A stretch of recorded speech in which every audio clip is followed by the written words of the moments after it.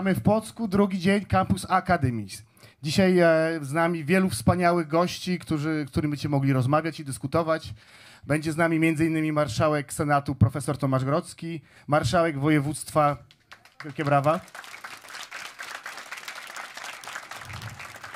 marszałek województwa mazowieckiego Adam Struzik, a także gospodarz e, tego miasta, pan Andrzej Nowakowski. Natomiast rozpoczynamy dzisiaj e, nasz dzień od spotkania i rozmowy z Rafałem Trzaskowskim, prezydenta miasta stołecznego Warszawy. Bardzo proszę.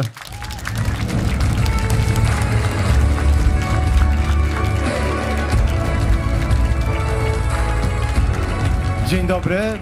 Bardzo się cieszę, że spotykamy się tutaj na Campus Akademii e, w Płocku. Bardzo się cieszę, że jest z nami pan e, marszałek Senatu Tomasz Grodzki, że są inni znamienici goście i pan marszałek całego województwa i oczywiście pan prezydent Płocka. Campus Akademii w kolejnym mieście, dlatego że uważamy, że przez cały czas trzeba rozmawiać z wami, z młodymi ludźmi, wsłuchiwać się w wasz głos. Natomiast dzisiaj rozpoczynamy również rejestrację na ten właściwy, duży kampus Polska przyszłości, który odbędzie się jak zwykle pod koniec sierpnia w Olsztynie. Zaczynamy rejestrację właśnie dzisiaj. Będę, bo to największy festiwal społeczny w Europie. Będę, bo chcę być częścią zmian na lepsze. Będę, bo tam głos młodych jest słyszalny. Będę, bo nikt nie będzie mi mówić, jak mam żyć i kogo kochać. Będziemy, żeby Polska przyszłości była naszą Polską. Bądź i ty. Jest wiele powodów, by wziąć udział w rekrutacji na Kampus Polska Przyszłości. Zapraszam, Rafał Trzaskowski. Będę, bo to największy festiwal społeczny w Europie. Będę, bo chcę być częścią zmian na lepsze. Będę, bo tam głos młodych jest słyszalny. Będę, bo nikt nie będzie mi mówić, jak mam żyć i kogo kochać. Będziemy, żeby Polska przyszłości była naszą Polską. Bądź i ty. Jest wiele powodów, by wziąć udział w rekrutacji na Kampus Polska Przyszłości. Zapraszam, Rafał Trzaskowski. Zapraszamy do e, rejestracji, to bardzo ważne. E, Często słyszę od e, naszych przyjaciół, ale również od ludzi na ulicach, że chcieliby porozmawiać o przyszłości, że nie interesuje nas w tej chwili dokładnie, kto zamierza z kim być na liście. Chcielibyśmy mieć tylko nadzieję, chcielibyśmy mieć pewność, że Polska się zmieni. I właśnie dlatego organizujemy Polska, Campus Polska Przyszłości, żeby o przyszłości rozmawiać. E, To, że ta przyszłość jest w nazwie, e, to nie przypadek.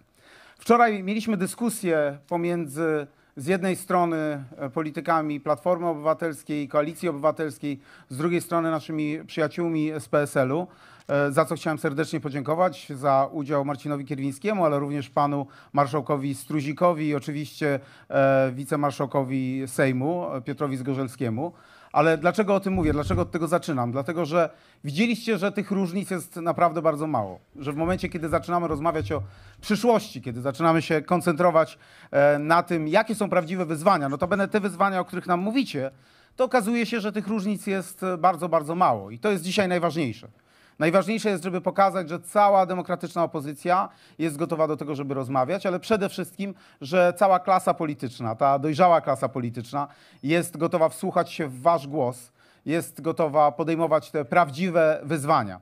I nie koncentrować się tylko na bieżączce, ale koncentrować się e, na tym, co najważniejsze, a mianowicie na rozwiązywaniu prawdziwych problemów. No i oczywiście na podejmowaniu tych tematów, które nas e, wszystkich e, nurtują.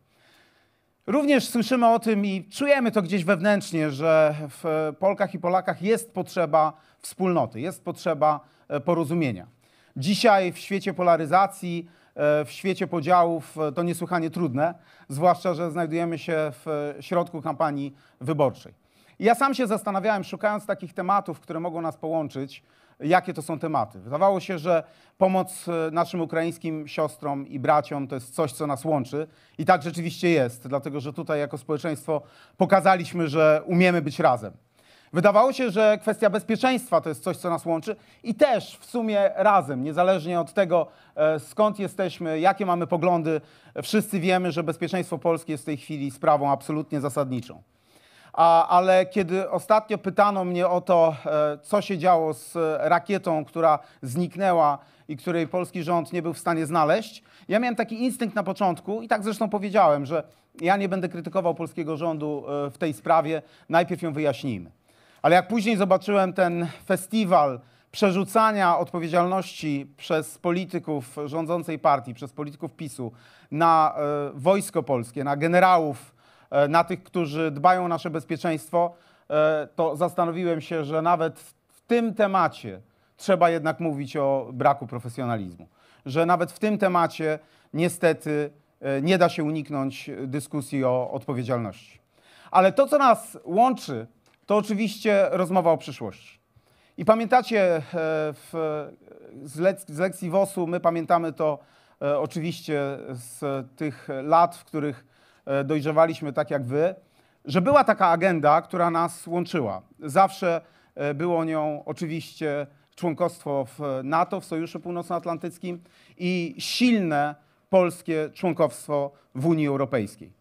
To była taka agenda modernizacyjna w latach 80., pod koniec lat 80., 89 rok, oczywiście pierwsze prawie wolne wybory i lata 90., kiedy e, wchodziliśmy, negocjowaliśmy wejście do Unii Europejskiej, marzyliśmy o takim prawdziwym skoku e, modernizacyjnym.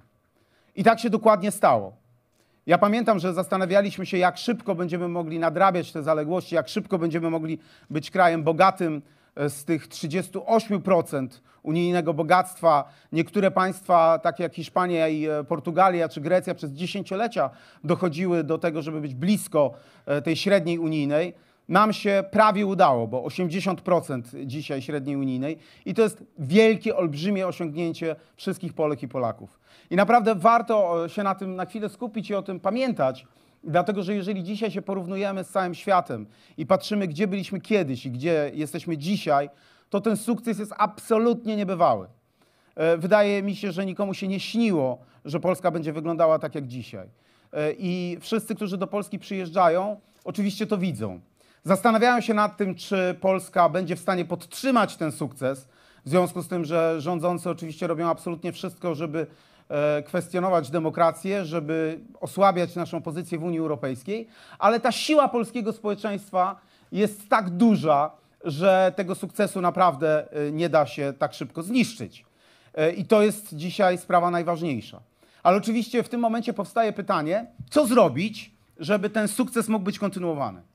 Co zrobić, żeby była dla nas wszystkich szansa, przede wszystkim dla waszego pokolenia, takiej drugiej fali modernizacyjnej, która pozwoli nam wszystkim e, dokończyć ten e, sukces, która pozwoli nam doprowadzić do tego, żeby ta olbrzymia energia, która zawsze była i zawsze jest w polskim narodzie, z której tak bardzo jesteśmy dumni, e, żeby ona mogła być uwolniona. I w tej chwili ta szansa jest przed nami. Tylko ona wymaga bardzo dojrzałej polityki i przede wszystkim wymaga polityki, która nie jest oparta tylko i wyłącznie na kompleksach. Pomyślmy na chwilę o suwerenności. Niektórzy uwielbiają szafować tym słowem nawet przemianowują swoją partię po to, żeby mówić o suwerenności. Tylko, że dzisiaj suwerenność to nie jest tylko i wyłącznie niezależność od wszystkich innych, tylko to jest przede wszystkim możliwość wpływu na rzeczywistość. No bo wyobraźmy sobie, czy Polska miałaby większy wpływ na rzeczywistość, gdyby była poza Unią Europejską i poza Sojuszem Północnoatlantyckim, czy ma większy wpływ na rzeczywistość, kiedy jest wewnątrz tych dwóch organizacji? No bo jeżeli przyjąć to rozumowanie, niektórych e, prawicowych polityków, że tak naprawdę nikt się nie powinien wtrącać w nasze sprawy. Nie powinniśmy z nikim budować e, takich ścisłych sojuszy, no bo wtedy będą się nas pytali o to, czy wywiązujemy się ze zobowiązań, będą nas się pytali, czy podzielamy wspólne wartości. No ale jeżeli tak, no to to by znaczyło, że Polska musiałaby być poza tymi sojuszami. Natomiast jeżeli chcemy naprawdę silnej Polski, no to ona musi być w Unii Europejskiej, to ona musi być w Sojuszu Północnoatlantyckim. I na tym polega cała zabawa, żeby te kraje, które chcą być silne, no, mogły oczywiście oddziaływać na e, rzeczywistość. Tu nie chodzi o to, żeby przez cały czas kontestować to, co się w Unii Europejskiej dzieje, tylko żeby wpływać na to, co się w Unii Europejskiej dzieje, żeby nasza specyfika, nasz interes był uwzględniany w interesie Unii Europejskiej, żeby stał się jego częścią. I to jest zadanie rządu, a rząd PiSu tego nie rozumie. Ja się zastanawiałem nad jakimś takim porównaniem, jak porównać ten absurd myślenia, który dzisiaj pokazuje PiS o Unii Europejskiej. E, I to jest dokładnie tak, słuchajcie, jak ten, kto chciałby mówić o bezpieczeństwie, no nie wiem, wziąłby pistolet sobie włożył e, w majtki i uważał, że w ten sposób zapewni sobie i Polsce bezpieczeństwo. To jest mniej więcej tego typu absurd. I dlatego właśnie dzisiaj najważniejszym zadaniem jest znalezienie tego klucza do modernizacji Polski, pewnego pomysłu. I okazuje się, słuchajcie, że nie trzeba tego specjalnie słuchać, e, szukać, dlatego że mamy ten klucz, mamy ten pomysł, jak zmieniać Polskę. Jest nim oczywiście Krajowy Plan Odbudowy. Czyli to, co negocjujemy z Unią Europejską, żeby wykorzystać olbrzymie pieniądze na rozwój Polski. Tylko e, ten plan, który leży na stole w tej chwili, który e, niestety nie może być realizowany w związku z tym, że rząd PiSu łamie demokrację, jest planem, który może nam wszystkim pomóc, jeżeli będziemy negocjować twardo później kolejne warunki jego wcielenia w życie. To jest plan, w którym są olbrzymie pieniądze na transformację. Ja używałem bardzo wielu porównań, ale jeżeli szukamy takiego wspólnotowego pomysłu, który połączy nas wszystkich, bo to, co w tym planie najważniejsze, to to, że jesteśmy w stanie całe społeczeństwo zabrać w tę drogę e, ku modernizacji, nikogo nie zostawić, bo część e, z nas poczuła się zostawiona w latach 90. samym sobie. Natomiast ten plan odpowiada na większość problemów, które w tej chwili e, stoją przed Polską. Jesteśmy w stanie zaoferować odpowiedź na te pytania, które nurtują absolutnie wszystkich. Więc jeżeli ten plan może być wspólny, to trzeba zrobić wszystko, żeby on wspólny był. Takim najbardziej chyba wspólnotowym projektem, który łączy tak wiele Polek i Polaków, jest oczywiście Wielka Orkiestra Świątecznej Pomocy. Jeżeli chcemy porównać te pieniądze, to te pieniądze, które są w e, tym planie, to jest tak, jakby Wielka Orkiestra Świątecznej Pomocy grała przez 650 lat. Wyobraźcie to sobie, ile dobra robi Wielka Orkiestra Świątecznej Pomocy i wyobraźcie sobie, jak to są olbrzymie pieniądze, które mogłyby służyć temu, co najważniejsze. I jeżeli modernizujemy Polskę, ja za chwilę powiem krótko o tych najważniejszych założeniach tego, co można razem zrobić, bo to istotne, to przede wszystkim ważne jest to, że możemy to zrobić razem, możemy naprawdę odbudować wspólnotę, ale po drugie, że ta współpraca nad najbardziej nowoczesnymi rozwiązaniami, nad innowacyjną, nowoczesną gospodarką, w pewnym sensie zmienia kulturę. Zmienia kulturę na kulturę współpracy. Pozwala nam stać się kołem zamachowym całej polskiej gospodarki. Pozwala nam jeszcze szybciej nadrabiać zaległości. Pomaga nam stworzyć zupełnie nowe miejsca pracy. To jest tak, jak kiedyś, e, mówiłem już kiedyś o tym, tak jak amerykański projekt lotu na Księżyc, który nie tylko pozwolił Amerykanom wylądować na Księżycu, ale napełnił, napę, napędził całą gospodarkę, napędził innowacje. A my mamy tutaj nieprawdopodobny potencjał i za rzadko o tym mówimy. Jesteśmy na przykład liderem w Unii Europejskiej, jeżeli chodzi o produkcję autobusów e, zeroemisyjnych. Nie wiem, czy ktoś z Was słyszał o Oldze Malinkiewicz, która wymyśliła zupełnie nowy sposób budowania e, baterii słonecznych. Z takich cieniusieńkich włókien, które są w stanie pozyskiwać światło, nie tylko światło słoneczne, ale również światło e, takie jak w tym pokoju. I to są tego typu rozwiązania, których jest mnóstwo. Wszyscy słyszeliście o CD Projekt, o Wiedźminie, myśmy niedawno e, ich odwiedzili. Tam pracują ludzie z całego świata. Wszyscy widzimy, jak e, w Polsce inwestuje się i w panele fotowoltaiczne, i w inne rozwiązania, które mają e, doprowadzić do tego, że będziemy się posługiwali czystą energią. Tego typu pomysłów, tego typu ludzi można by tu było przywołać naprawdę setki. My mamy ten potencjał, mamy też świetnie wyszkolonych inżynierów, świetnie wyszkoloną młodzież. Chodzi o to, żeby nikt nie musiał z Polski wyjeżdżać, żeby oni mogli inwestować tutaj.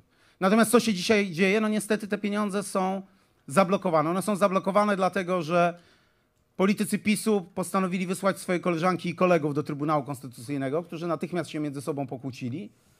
One są zablokowane dlatego, że PiS przez cały czas atakuje niezależne instytucje. I nawet jakby chciał te pieniądze odblokować, to dzisiaj nie za bardzo mu to wychodzi. I my za te kłótnie, tych paru odkryć towarzyskich prezesa Kaczyńskiego, musimy płacić olbrzymie miliardy złotych. Czesi i Słowacy, małe państwa w porównaniu do nas, chociaż dumne, e, wykorzystali już ponad 2 miliardy euro z tych funduszy. A do Polski nie popłynęła nawet złotówka. Na co wydawać te pieniądze? Mówiłem już, przede wszystkim innowacje, to jest niesłychanie istotne i mamy ten olbrzymi potencjał. I tu przykłady można by było mnożyć, bo to jest i zarządzanie inteligentnym miastem, i na przykład doprowadzenie do tego, że wszystkie dane są w chmurze, że mo można na ich podstawie budować zupełnie nowe aplikacje, a Polki i Polacy tutaj są świetni. Że można doprowadzić do tego, żeby wszystkie usługi i te samorządowe, i te rządowe były w telefonie komórkowym. Że można doprowadzić do tego, żeby budować inteligentne laboratoria. My to w Warszawie właśnie ostatnio zrobiliśmy w Centrum Kopernik. Zapraszamy. Zobaczcie, w jaki sposób można uczyć dzieciaki, w jak nowoczesny sposób budować laboratoria, które rozwijają ich indywidualne myślenie. Można oczywiście inwestować w służbę zdrowia, tyle o tym mówimy, zwłaszcza wykorzystując sztuczną inteligencję w sposób naprawdę inteligentny. Tak, że każdy senior może mieć e, na przegubie dłoni specjalny zegarek, który nie tylko będzie mierzył wszystkie parametry życiowe, ale w razie czego, jak trzeba, zawiadomi o tym, że konieczna jest pomoc. I też takie rozwiązania już zaczynamy wprowadzać. Mógłbym tutaj mówić o tych innowacyjnych rozwiązaniach przez wiele, wiele godzin, ale na to potrzebne są pieniądze, bo ludzie e, w Polsce już są. Zielona transformacja. Często dużo o tym słyszymy. Niestety rządzący zamiast się przygotować do tej wielkiej rewolucji, zamiast z niej skorzystać, zamiast wykorzystać ten olbrzymi potencjał, który drzemie w Polkach i Polakach, wolą się skupić na kontestowaniu. A tu nie chodzi o kontestację, dlatego że chyba wszyscy chcemy czystego powietrza, wszyscy chcemy e, tej tańszej energii, tylko chodzi o to, żeby ta nasza specyfika, bo ona jest rzeczywiście inna niż w innych państwach europejskich, żeby ona została w europejskiej polityce uwzględniona. I można to zrobić. Ja słyszę, no nie teraz, mamy wojnę, więc y, to nie jest dobry moment. No a kiedy może być lepszy moment? W momencie, kiedy będziemy mieli więcej odnawialnych źródeł energii w naszym miksie energetycznym, to będziemy bardziej suwerenni, bo będziemy mniej zależni od Rosji. W momencie, kiedy będziemy stawiali na te nowoczesne rozwiązania, będziemy mieli oczywiście czystsze powietrze, będziemy mieli po prostu tańszą energię i Polacy na potęgę inwestują, sami z siebie, właśnie w panele fotowoltaiczne, w pompy ciepła, tylko problem polega na tym, że nie ma tych inwestycji, które powinny być choćby w sieć, tak żeby można było tę energię przyjmować.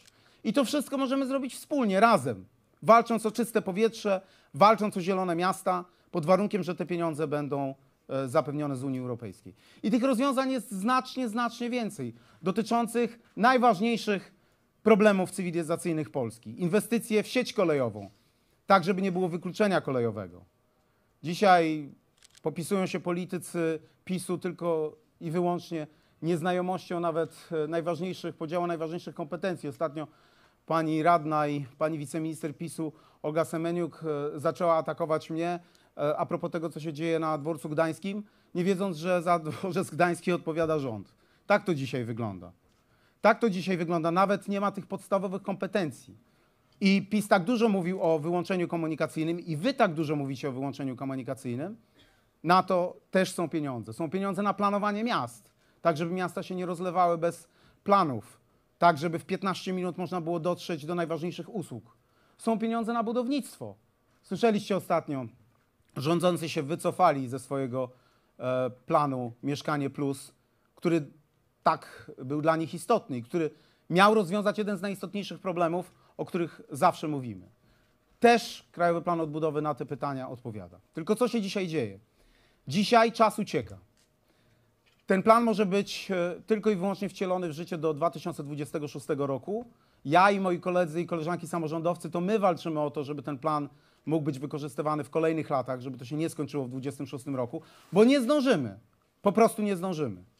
I może to doprowadzić do absolutnie paradoksalnej sytuacji, w której to my będziemy musieli płacić za długi innych, mimo że tych pieniędzy nie będziemy mogli wykorzystać. I co się wtedy stanie? No pomyślcie. tych, którzy mówią dzisiaj o suwerenności.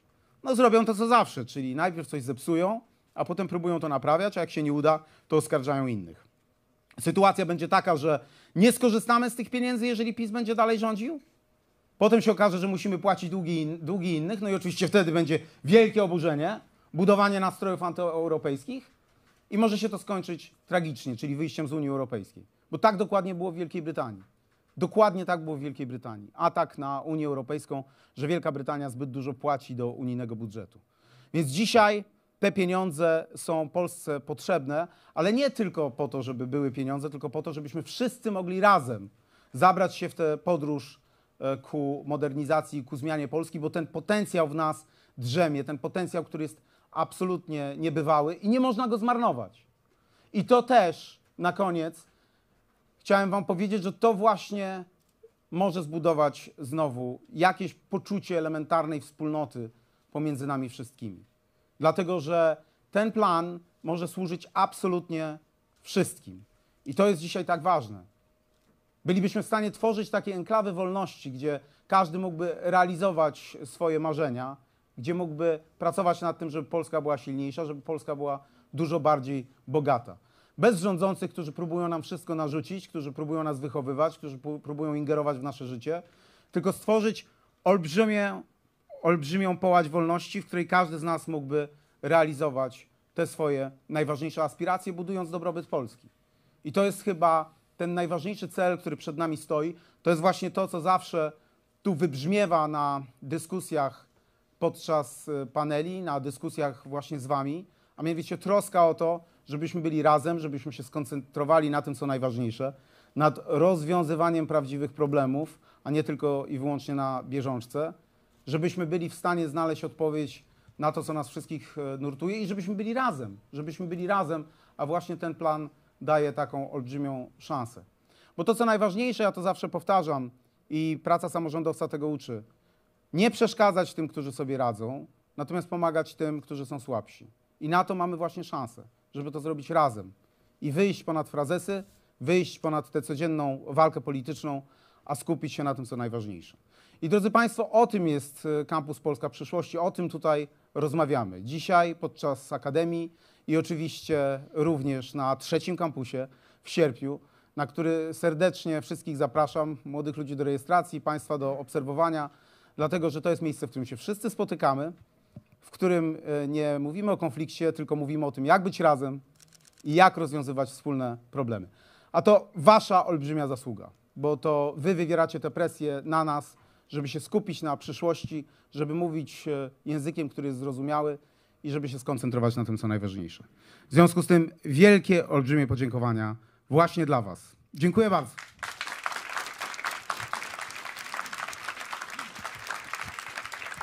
Ruszyła rekrutacja na kampus Polska Przyszłości 2023 w Olsztynie, a my teraz w Płocku startujemy z serią pytań do pana prezydenta, także oddaję głos pierwszej osobie. Dzień dobry panie prezydencie, Świerczyński Jędrzej, przyjechałem tu z Warszawy. Chciałbym się zapytać, ponieważ byłem na poprzednich kampusach i oczywiście bardzo za to dziękuję, było cudownie. Chciałbym zapytać się, ponieważ ten kampus najprawdopodobniej będzie już y, na początku kampanii wyborczej i czy to coś zmieni, jeżeli chodzi o ten kampus? Czy będzie on przez to jakiś, no nie wiem, inny? Na poprzednich kampusach było dużo posłów, być może teraz będzie ich trochę mniej, bo będą w swoich okręgach już. Jak pan to widzi? To miejmy nadzieję, że będzie tuż przed e, rozpoczęciem kampanii wyborczej, dlatego że nam zależy nad tym, żeby e, tego ognia kampanii wyborczej, który najczęściej w Polsce niestety polaryzuje, uniknąć. Ale kampus ma zupełnie inną formułę, dlatego że przecież my tutaj nie agitujemy do głosowania na jakąkolwiek partię polityczną. Tej polityki doraźnej jest e, bardzo mało i rozmawiamy o tym, jak rozwiązywać wspólnie problemy. E, W związku z tym e, to nie koliduje oczywiście z kampanią wyborczą. To jest takie miejsce, w którym też wszyscy możemy się spotkać, wszyscy politycy, którzy wspierają ten demokratyczny kierunek. Więc ja myślę, że będzie dokładnie tak samo dobrze jak na ostatnich e, kampusach i też będziemy się właśnie skupiali nie na zachęcaniu, bo nigdy tego nie robiliśmy, do głosowania ani na konkretną partię, ani na konkretnych ludzi, tylko na rozmowie o przyszłości. Drugie pytanie z sali. Dzień dobry, cześć. Maciej Łazor, Kraków. No, kampus, jak mówiłeś, jest o rozmowie, o dialogu, o rozwiązywaniu problemów. Tylko mam takie poczucie, że to już jest też troszeczkę za mało, bo apetyt rośnie w miarę jedzenia i my byśmy chcieli też mieć już jakiś taki bardziej realny wpływ na kształtowanie tej przyszłości, a nie tylko rozmawianie o niej, bo jeżeli spojrzymy na takie suche dane, do 35 roku życia mamy w Polsce 35% obywateli, a tymczasem w parlamencie na początku tej kadencji mieliśmy około 5% posłów poniżej e, 35 roku życia. Nawet w tym momencie już nie ma żadnego dwudziestolatka w parlamencie.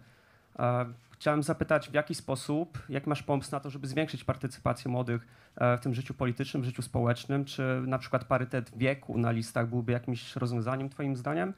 E, Dzięki. To wszystko zależy od Was e, i taka jest prawdziwa odpowiedź. E, Wydaje mi się, że no, trudno oczywiście obiecywać e, od razu, że to się wszystko przekłada na rzeczywistość, dlatego że jeszcze opozycja demokratyczna nie rządzi. Natomiast w samorządach to się przekłada od razu na rzeczywistość, dlatego że choćby te moje najważniejsze priorytety, które realizuję i te, które dotyczą na przykład zajęcia się młodą mamą od momentu, kiedy podejmie decyzję o tym, żeby zajść w ciążę, do momentu, kiedy dziecko się urodzi. I właśnie taki ośrodek pierwszy, który kompleksowo się zajmie mamą, e, w Warszawie tworzymy. 26 maja go otworzymy w Dzień Matki. To jest pomysł, który też pochodzi od rozmów z wami, to żeby się zająć na serio e, psych psychologią i psychiatrią dziecięcą na tyle, ile samorząd może. To są pomysły, które pochodzą od was, więc my to już robimy. I to jest najważniejsze, znaczy wpływ na rzeczywistość. Ja sobie nie wyobrażam, żeby e, ci wszyscy politycy, którzy słuchają was, którzy odpowiadają na wasze pytania na kampusie Polska Przyszłości, żeby oni później e, pod wpływem tego, co mówicie, nie zmieniali swoich e, planów. I oni już to robią. Także jestem absolutnie przekonany, że ten wasz wpływ będzie coraz większy.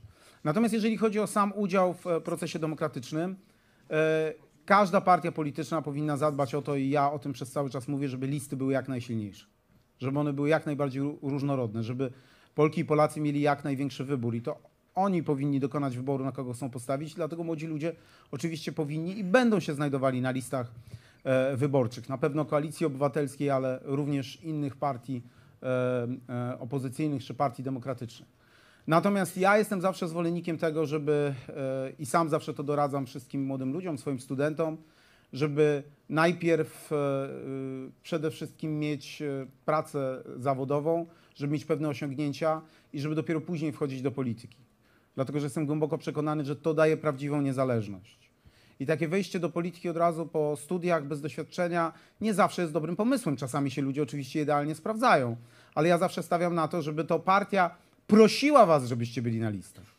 A partia będzie was prosić, żebyście byli na listach nie tylko dlatego, że jesteście młodzi, tylko będzie was prosiła, żebyście byli na listach, jeżeli będziecie mieli coś do powiedzenia, jeżeli będziecie mieli jakieś osiągnięcia, jeżeli będziecie specjalistami w jakiejś dziedzinie. A tu nie trzeba mieć 50 lat, żeby sporo osiągnąć, bo niektórzy osiągają bardzo dużo w wieku lat dwudziestu kilku. W związku z tym do tego was zachęcam, do tego, żebyśmy to my szukali w was ekspertów, bo się będziecie lepiej na czymś znali, bo będziecie znali języki, których my nie znamy, bo będziecie w stanie rozwiązywać problemy, e, których my nie jesteśmy w stanie rozwiązać, bo będziecie się znali na cyberbezpieczeństwie, na sztucznej inteligencji, której my e, mamy problem, żeby w ogóle pojąć e, to, jakie to niesie wyzwania cywilizacyjne. I to o to chodzi, a nie o proste parytety. I jestem przekonany, że też patrząc na Was, na Waszą aktywność, na Wasze zaangażowanie, że partie polityczne e, prędzej czy później, jeżeli będą mądre, jeżeli będą chciały wygrywać wybory, będą się o takich ludzi właśnie bili, którzy mają osiągnięcia i to nie tylko zawodowe, ale również społeczne, którzy pokażą swoim zaangażowaniem, że są w stanie pomagać innym ludziom.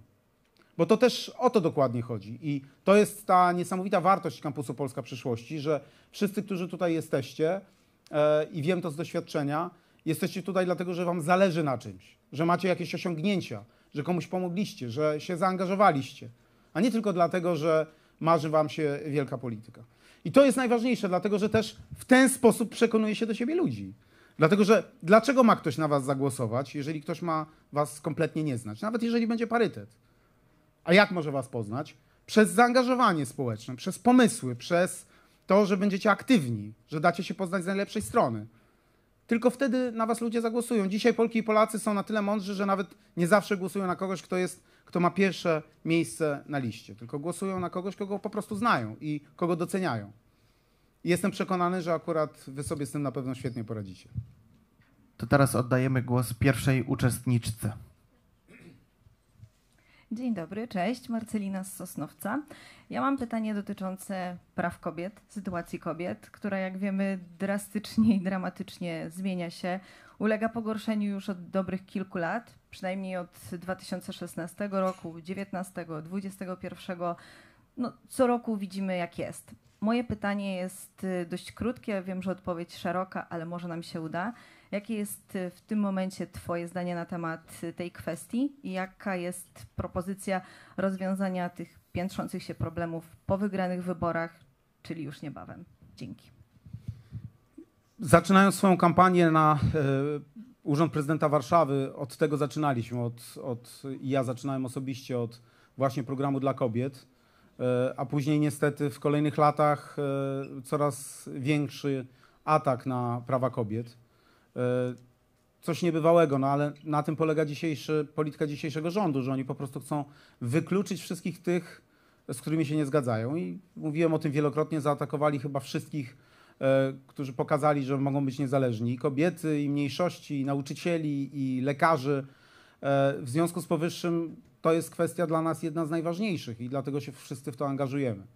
Jeżeli chodzi o to, że kobieta powinna decydować o swoim życiu i o zdrowiu, podjęliśmy taką decyzję, z czego się bardzo cieszę już wiele, wiele miesięcy temu. E, Co nie było wcale oczywiste, bo pamiętacie, jakie było stanowisko wielu partii opozycyjnych. To jest dla mnie sprawa najbardziej istotna, bo jak dzisiaj patrzę na te tragedie, które się rozgrywają, jak dzisiaj widzę, jak potrafi PiS y, nawet spróbować zastraszyć lekarzy, którzy mają ratować y, życie i zdrowie kobiety, no to chyba nic nie jest bardziej bulwersującego. Takim prawdziwym problemem jest oczywiście kwestia powrotu na rynek pracy i o tym też wielokrotnie żeśmy rozmawiali. Stąd ja w Warszawie od razu zacząłem realizować pro, program żłobkowy i stworzyliśmy ponad 16 tysięcy miejsc żłobkowych. Uwaga, to nie tylko budowanie nowych żłobków, ale również dawanie szansy przedsiębiorcom. I co się okazuje, że to właśnie młode przedsiębiorczynie najczęściej otwierają żłobki w Warszawie. I to jest też program, który chcemy kontynuować, jeżeli wygramy wybory. I do tego dołożyliśmy ten program, który ma e, również pomóc e, kobietom wrócić na rynek e, pracy, dając im konkretne pieniądze, jeszcze w taki sposób, że nie obciąża to specjalnie budżetu. To jest sprawa absolutnie fundamentalna. Wiele się mówi o równości płac i oczywiście takie jest w Polsce prawo, natomiast no, my się staramy w ratuszu i wielu samorządowców to robi, żeby naprawdę te prace były wyrównane i to też jest absolutny priorytet dla nas wszystkich. I cała polityka, która dotyka rodziny, na tym się koncentruje. Bo zobaczcie, PiS opowiada o rodzinie, prawda? Oni próbują się malować jako ci, którzy są prorodzinni. A tak naprawdę to my, samorządowcy, robimy wszystko, żeby naprawdę pomóc rodzinie, nikogo nie pouczając. I wydaje mi się, że e, no, niektórzy politycy PiSu pojęcia nie mają o rodzinie, a tylko mają e, pełne frazesów e, głowy. Ale zobaczcie, i program żłobkowy, i in vitro, z którego jestem tak dumny. 1800 dzieciaków się urodziło w samej Warszawie dzięki programowi in vitro. I właśnie ten pomysł, żeby zająć się mamą od początku, od kiedy myśli o posiadaniu dziecka, później przeprowadzić ją przez cały proces aż do urodzenia dziecka, a potem pomóc, jeżeli jest jakikolwiek problem. To jest właśnie to, ten sposób kompleksowego radzenia sobie z problemem. Ale jeżeli, ale, ale jeżeli mówimy o kwestiach inwestycji w edukację, znowu to na nas się spycha większość, y, większość y, e, obowiązków w tej sprawie. Jeżeli chcemy walczyć z wykluczeniem, dzisiaj przy tej olbrzymiej drożyźnie, to właśnie my, samorządowcy, staramy się dać dodatkowe pieniądze na dodatkowe zajęcia dla dzieciaków, czy tak jak w Warszawie na wyjścia przedszkolaków i e, uczniów do szkół i do teatrów. Przecież to jest prawdziwe wspieranie rodziny. Inwestycje w służbie zdrowia, inwestycje w czysty transport. To jest właśnie wspieranie rodziny, takie prawdziwe wspieranie rodziny, ale bez ingerencji, bez mówienia komuś, jak ktoś ma żyć, bez próby przejęcia decyzji przez panów w garniturach za życie i zdrowie kobiet. I my to po prostu robimy i to będziemy robić, bo to jest najważniejsze, czyli konkrety, a nie e, ideologia. I jeszcze robimy to bez żadnego ideologicznego wzdęcia, tylko po prostu realizujemy te programy, które są najważniejsze. I dam wam jeden, jedyny przykład, bo ostatnio rozmawiałem z szóstką amerykańskich licealistów, którzy przyjechali do Polski uczyć się polskiego, spędzają u nas rok, z mniejszych amerykańskich miast i zapytałem się ich, co wam się tak na, naprawdę podoba w Polsce. Oni powiedzieli, że są zachwyceni. Jedzenie im się podoba. Mówią, jest jedzenie y, zdrowe, świeże, prawdziwe, ale pytałem, co im się najbardziej podoba. I cała szóstka powiedziała o jednym. Cała szóstka była zachwycona czym? Komunikacją miejską w Warszawie. Powiedzieli, bo to nam daje prawdziwą wolność. Nie musimy nikogo prosić, żeby nas podwiózł. Sami możemy się poruszać po mieście albo komunikacją miejską, albo możemy chodzić, możemy jeździć na rowerach. Jesteśmy po prostu wolni dzięki temu. I rzadko o tym myślimy z tej perspektywy, ale tak dokładnie jest. I to są właśnie prawdziwe rozwiązania, które doprowadzają do tego, że oddajemy właśnie obywatelom możliwość decydowania i obywatelkom możliwość decydowania o swoim życiu, że naprawdę wspieramy, e, wspieramy e, wolność, że naprawdę wspieramy e, rodziny, pod jednym tylko warunkiem, że ktoś nie szkodzi drugiej osobie, no bo to jest klasyczna granica wolności. I to właśnie będziemy robić. Na razie są tylko te enklawy, te wyspy wolności, ale zależy nam na tym, żeby Polska była taka, jak jej prawdziwe DNA, jak prawdziwy rodowód, bo tym się najbardziej szczycimy. Jak się nas pytają, dlaczego jesteśmy dumni z tego, że jesteśmy Polkami i Polakami, no to przecież pierwsza rzecz, która nam przychodzi do głowy, to właśnie to, że nigdy nie daliśmy sobie czegokolwiek narzucić. Że zawsze to poczucie wolności, niesforności było dla nas czymś, co nas napędzało do działania. I pod warunkiem, że to ma pozytywny wymiar, że to powoduje, że poszerzamy tę wolność również dla innych, to jest właśnie to, co możemy pokazać całemu światu.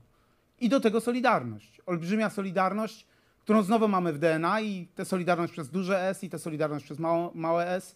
I ostatnio to udowodniliśmy całemu światu. Dzisiaj cały świat patrzy na nas zupełnie inaczej.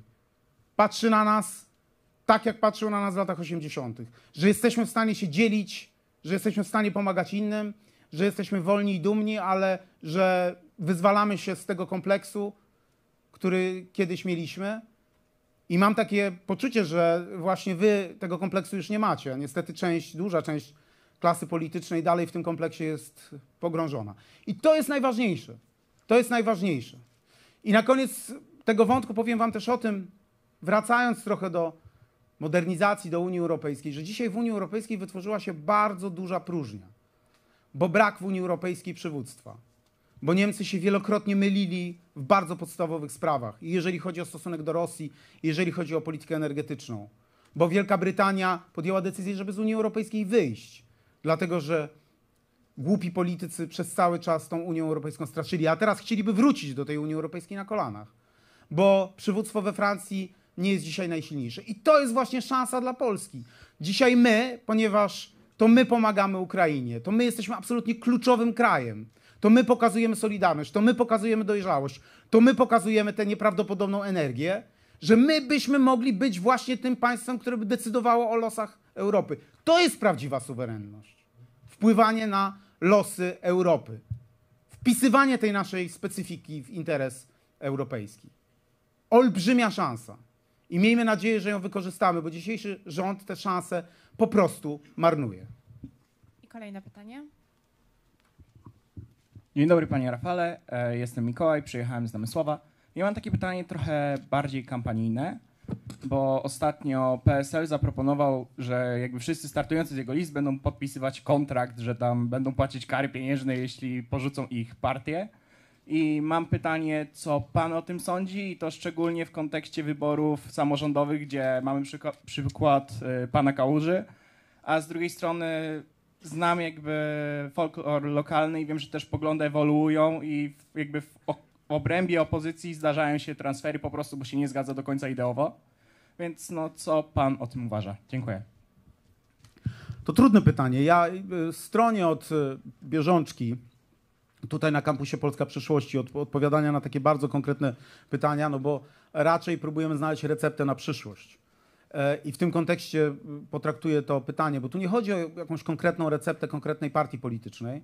E, y, Problem jest prawdziwy.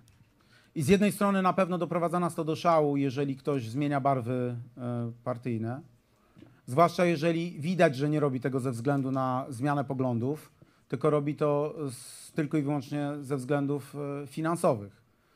Albo tylko i wyłącznie dlatego, że być może będzie miał lepsze stanowisko albo le- większe wpływy. Natomiast e, jeżeli mandat, ma, by, ma mandat posła czy posłanki ma być prawdziwie wolny, e, no to trudno go w taki sposób ograniczać. To jest bardzo kontrowersyjne, dlatego że e, posłanka i poseł i w ogóle ci wszyscy, którzy są wybrani w wyborach bezpośrednich, powinni przede wszystkim słuchać was. Powinni słuchać obywatelek i obywateli. To wy ich wybieracie. I jeżeli dajmy na to, widać, że obywatele zmieniają swoje zdanie na jakiś temat, no to poseł powinien ich, czy posłanka ich reprezentować, E, a nie y, no, mieć e, w pewnym sensie no, brak możliwości e, dosyć radykalnej zmiany poglądów. Bardzo trudny problem, dlatego że w Polsce on rzeczywiście narasta. Ja nie chcę tego rozwiązania w czambu krytykować, bo jakby rozumiem logikę, ale widzę też olbrzymie zagrożenia. E, Wydaje mi się, że na końcu to wy e, jesteście najlepszymi sędziami w takiej sytuacji. Bo umówmy się, jeżeli ktoś stwierdzi, że na przykład moja partia trochę y, zmieniła stanowisko, ja się z tym nie zgadzam, chcę iść do innej podobnej partii, też demokratycznej, no to ja jestem w stanie to zrozumieć. I taka osoba być może nie zostanie surowo potraktowana przez wyborców. Natomiast każdy, kto y, no, po prostu zmienia o 180% swoje poglądy, przechodzi do zupełnie innej partii politycznej, będzie miała problem. I będzie musiała przekonać wyborców, dlaczego to zrobiła. I może się uda czasami, ale na pewno nie będzie to proste. Więc to wy będziecie tak naprawdę sędziami i ja wolałbym, żeby to wyborcy byli sędziami niż partia polityczna, chociaż rozumiem e, moich kolegów z PSL-u, bo rzeczywiście te ostatnie transfery były bulwersujące. I ostatnie pytanie w tej części dzisiejszego dnia. Dzień dobry, Teresa Darlinicka z Warszawy. Ja mam pytanie o psychologię i o pomoc nie tylko od strony właśnie psychologicznej, ale psychologiczno-pedagogicznej. Czyli sytuacji, w której przestrzenie, w których się taką pomoc udziela, są mocno niedofinansowane. I pytanie, jak pan to widzi, e, jeżeli chodzi o wzrastające różnego rodzaju problemy wśród młodzieży, wśród dzieci, nie tylko właśnie o psychologicznym, ale także o innych chorobach i o wsparciu w ogóle w mieście i funkcjonowaniu osób z niepełnosprawnościami, również tymi psychologicznymi właśnie w mieście i jak dostosowywać i pomagać osobom, które mają różne problemy, a mimo wszystko należy im się równość i należy im się możliwość swobodnego poruszania. Dziękuję. To jest olbrzymi problem. To jest olbrzymi problem, dlatego że dzisiaj mamy załamanie y, krajowego systemu, jeżeli chodzi o pomoc psychologiczną i psychiatryczną, zwłaszcza dla młodych ludzi. Mamy sytuację niesamowicie ciężką, dlatego że wychodzimy z pandemii, a w pandemii y, te problemy zostały uwypuklone. Mamy problem dlatego, że coraz więcej e, młodzieży gubi się w świecie cyfrowym. Mamy problem po tym okropnym ataku e, pisowskim na e, mniejszości, w tym mniejszości seksualne. Mamy olbrzymie problemy e, na tym polu. Przez cały czas szczucie, przez cały czas poczucie, tworzenie przez PiS poczucia zagrożenia. Nawet taka prosta rzecz jak e, edukacja, wydawałoby się. To, co się stało z edukacją, ja to powtarzam za każdym razem. Moja córka właśnie kończy zdawać maturę, mój syn właśnie wybiera liceum. Ja jestem wykładowcą akademickim od wielu, wielu lat, więc na to patrzę z bardzo różnej perspektywy. I jako ojciec, i jako prezydent miasta, i jako wykładowca akademicki. I widzę, że po prostu dzieciaki nie dają rady. Są tak niesłychanie przeciążone tymi podstawami programowymi, które sensu nie mają. Za dużo, za dużo informacji, za, miało, za mało współpracy, za mało wyciągania wniosków. Wystarczy, słuchajcie, że ktoś na maturze popełni tak zwany błąd kardynalny, czyli coś jak w żargonie tym strasznym, którego nas uczą, prawda? Pomyli mu się coś, a może napisać genialną pracę, oryginalną.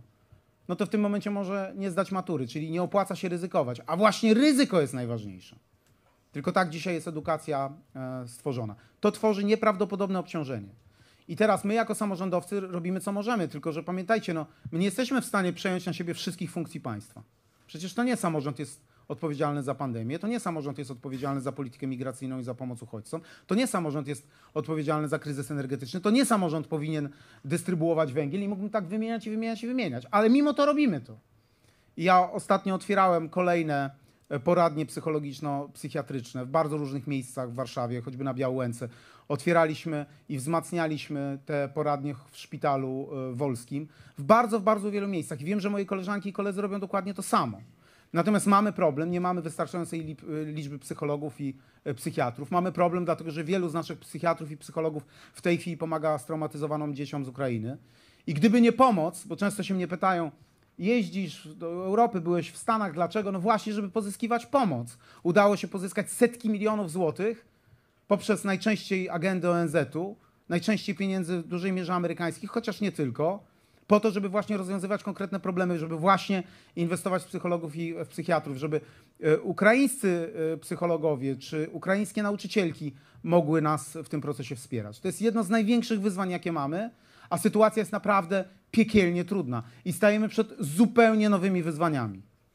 Zupełnie nowymi wyzwaniami postpandemicznymi, związanymi właśnie z kwestiami e, świata wirtualnego, rozwoju e, inteligencji, e, sztucznej inteligencji, e, problemów, których, które nawet trudno nam jest dzisiaj e, pojąć. A co robi rząd? Rząd tylko dokłada, dokłada, dokłada, albo sobie robi okropne żarty z tych wszystkich, którzy mają problemy, na przykład z tożsamością seksualną. I to nie chodzi o to, żeby zaczynać jakiekolwiek wojny, ale oni po prostu będą cały czas straszyć. Bo tylko to potrafią robić. Szczuć i straszyć i budować jakieś nieprawdopodobne teorie, że ktoś komuś chce zrobić krzywdę, zamiast pomagać. Opowiadać o obronie rodziny, a tej rodzinie nie pomagać. A my chcemy pomóc, a nie rozmawiać o ideologii. I to jest ta olbrzymia różnica pomiędzy demokratyczną opozycją, a dzisiaj rządzącym PiSem. Pomagamy tam, gdzie możemy, tworząc te enklawy wolności. Nikomu niczego nie chcemy narzucać. Przede wszystkim zależy nam wol do, na wolności, pod warunkiem, że nie naruszasz wolności kogoś innego. I to jest to, co najważniejsze, i o tym są te wybory. Jeżeli ktoś Was dzisiaj będzie pytał, o czym jest wybór, i nie chodzi tutaj o konkretną partię polityczną, to to jest właśnie kwestia wolności. Żeby nikt nam nie dyktował, co mamy robić, żeby nikt nas nie indoktrynował, żebyśmy to my mogli podejmować decyzje, żebyście to wy mogli podejmować decyzje. Jeżeli jesteście dobrzy, żebyście mieli jak największy wpływ na naszą rzeczywistość, żeby pomagać wszystkim, którzy tej pomocy potrzebują, a wy wszyscy, którzy sobie świetnie w życiu poradzicie, żeby nikt wam nie ograniczał możliwości wyboru. To jest dzisiaj najważniejsze i też to olbrzymie przesłanie płynie właśnie stąd, z kampusu Polska Przyszłości. I mam nadzieję, że będzie płynęło jeszcze przez wiele, wiele lat, kiedy ten projekt oddamy w wasze ręce. Dziękuję bardzo. Wielkie brawa, Rafał Trzaskowski. A teraz zapraszamy na scenę marszałka województwa mazowieckiego Adama Struzika oraz gospodarza miasta Andrzeja Nowakowskiego.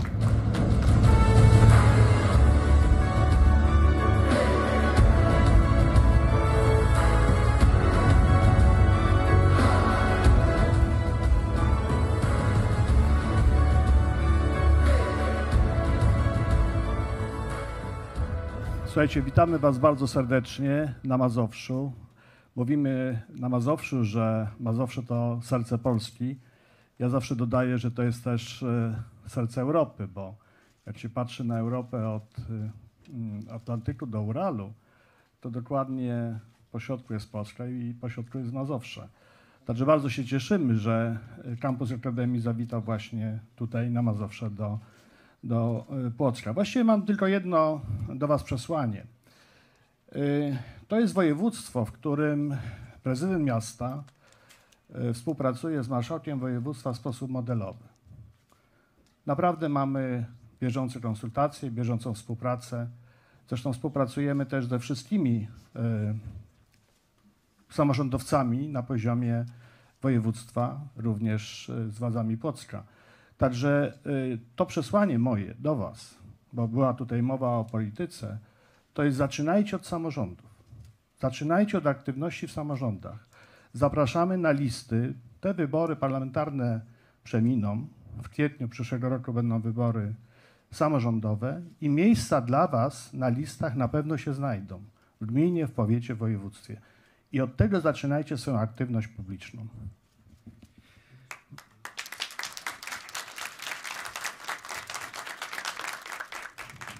Kochani, bardzo serdecznie witam Was w Płocku. Rzeczywiście, e, ja powiem tak, jednym z najpiękniejszych, jeśli nie najpiękniejszym mieście nie tylko na Mazowszu, ale i w Polsce, o czym mam nadzieję już się przekonaliście, ale przede wszystkim także w mieście, które stawia na ludzi młodych, e, w mieście, w którym wciąż budujemy nowe żłobki, w mieście, w którym program Mieszkania na Start okazał się po prostu sukcesem, a nie totalną klapą jak ten rządowy program. W mieście, e, w którym stawiamy na zieloną energię, w którym chcemy bardzo rozmawiać z młodymi i współpracować, gdzie funkcjonuje Młodzieżowa Rada Płocka, gdzie młodzi ludzie rzeczywiście mają swoją przestrzeń do rozwoju. W mieście, które w końcu jest także coraz bardziej akademickim miastem, bo nie tylko już Politechnika Warszawska filia w Płocku, ale właśnie Akademia Mazowiecka, w której od września będą kształcić się lekarze. Więc cieszę się, że ta podróż do przyszłości, o której mówił e, Rafał, dzisiaj ma przystanek w Płocku i jestem przekonany, że ta przyszłość, w której jest miejsce na wolność przede wszystkim, na bezpieczeństwo, na równość, na tolerancję, będzie naszą wspólną przyszłością. Przyszłością także moich dzieci, czwórki. Także e, liczę, że rzeczywiście ta dzisiejsze spotkanie, wczorajsze, jutrzejsze, ten czas to jest nasz wspólny czas, gdzie rozpoczynamy drogę do przyszłości. Dziękuję bardzo. Wielkie brawa. Marszałek województwa Adam Sulik oraz Andrzej Nowakowski z Polska. A teraz przed Wami gość specjalny dzisiejszego dnia Campus Akademii w Płocku, marszałek Senatu, profesor Tomasz Grodzki. Wielkie brawa.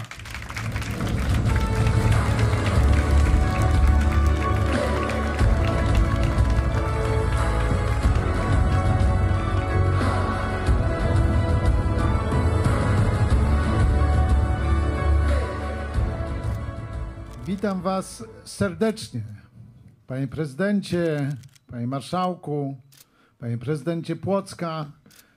To dla mnie wielka radość tu przyjechać, bo ostatnio jak byłem na kampusie w Olsztynie i udało nam się przywieźć pana Rusłana Stefańczuka, a obaj jesteśmy nauczycielami akademickimi, to z radością patrzałem, jak gościu, który no, jest pod ciężkim stresem, który jest szefem Rady Najwyższej Ukrainy i w trakcie wojny ten parlament obraduje, co róż zmieniając miejsca i tak dalej, i tak dalej. Jaki on był szczęśliwy, gdzie wreszcie mógł znowu porozmawiać e, z młodymi ludźmi, a tam było grubo ponad tysiąc osób na sali. I dlatego jestem tak zadowolony, że udało mi się tu dotrzeć, chociaż wiecie, że w roku wyborczym e, zasuwamy właściwie 24 na 24. Nie chcę się skarżyć, ale moje ostatnie dwa tygodnie to były Więcborg, Chojnice, Sucha Beskidzka, e, Chrubieszów, e, Praga, Waszyngton, Ottawa, Toronto mm, i znowu ostatnio, no już nie pamiętam co było, chyba Chojnice. Ale, mm, e, ale to jest dlatego tak dajemy z siebie wszystko, bo to będą najważniejsze wybory po 1989 roku. Jeżeli ktoś ma co do tego wątpliwości, to znaczy, że albo nie rozumie, albo nie chce zrozumieć, albo jest agentem wrogich sił, które ogarnęły mrokiem naszą ojczyznę od siedmiu lat, a my w Senacie Najjaśniejszej Rzeczpospolitej jesteśmy, jesteśmy i dla nich rodzajem ciernia, nie powiem gdzie. Ale, ale też e, było mi miło, jak w Senacie Stanów Zjednoczonych, na bazie którego został zbudowany Senat Polski, usłyszałem, że określają nas ostatnią redutą demokracji. Bo Sejm, przynajmniej ta część partii rządzącej, zmienili ten Sejm w pewien teatr marionetek. O Trybunale Konstytucyjnym w ogóle nie chcę wspominać, bo to jest gigantyczna kompromitacja. Ale chcę wrócić do tego, co mówił pan marszałek Struzik, żeby zacząć od, nazwijmy to, podstawówki. Bo żeby zostać dobrym politykiem w służbie publicznej, dla lekarza jest to zrozumiałe, że politycy są w służbie dla ludzi. To my jesteśmy dla ludzi, a nie ludzie dla polityków. Nie wszyscy to rozumieją, ale to jest przesłanie, które jest, które jest e, naprawdę ważne, potrzebne w polityce. Ale żeby nabrać wprawy w, polity- w działalności politycznej, trzeba zacząć od niższego szczebla. Ja byłem 10 lat radnym Szczecina. Wymyśliliśmy takie fajne programy, jak zamiast domu dziecka to dom dla dziecka i zlikwidowaliśmy w Szczecinie domy, domy dziecka. Wszystkie dzieci zostały rozprowadzone po, po takich małych, rodzinnych domach. Wymyśliliśmy wczes program wczesnego wykrywania raka płuc tomografią komputerową, co uratowało życie kilkusetkom ludzi. A w budżecie miasta to było 1,1%, żeby, żeby ich przebadać. Wymyśliliśmy, założyłem taką komisję do spraw inicjatyw obywatelskich, z której potem urodziły się budżety obywatelskie. E, Krótko mówiąc, poszedłem tam, żeby nabrać takiej ogłady, takiej szkoły, a jednocześnie jakiś tam ślad po sobie zostawić. I to, e, to Wam szczerze polecam. Bo najgorzej jest w parlamencie, jeżeli ktoś, no tak, żeby zostać lekarzem, to musi być podstawówka, szkoła średnia, uniwersytet, specjalizacja, dopiero człowiek z grubsza coś wie, o co, o co chodzi. A jeżeli ktoś wskoczy do polityki od razu do parlamentu, czy na stanowisko jakiegoś szefa formacji czy partii, to potem mówię, to mi się wydawało, że to jest inaczej, że to jest, e, że ja miałem inne wyobrażenie, ja jestem rozczarowany.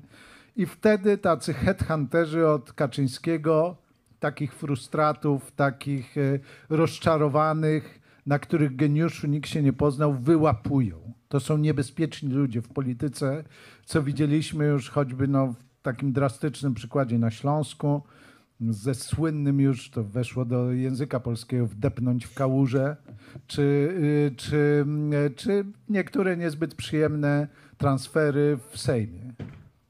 Zwróćcie uwagę, że mimo, że ten, który konstruował listy PiSu do Senatu i przegrał, obiecywał, że w trzy miesiące odzyska Senat i ludzi przekupywano, szantażowano, oczerniano. E, to była naprawdę brudna, brutalna gra. Nikt, nikt, ani jeden senator demokratycznej większości, czy to z Koalicji Obywatelskiej, czy z PSL-u, czy, czy z Lewicy, czy z Niezależnych, potem jeden założył jednoosobowe koło Hołowni, ale, ale to w ramach ciągle tej samej większości, to nikt nie uległ.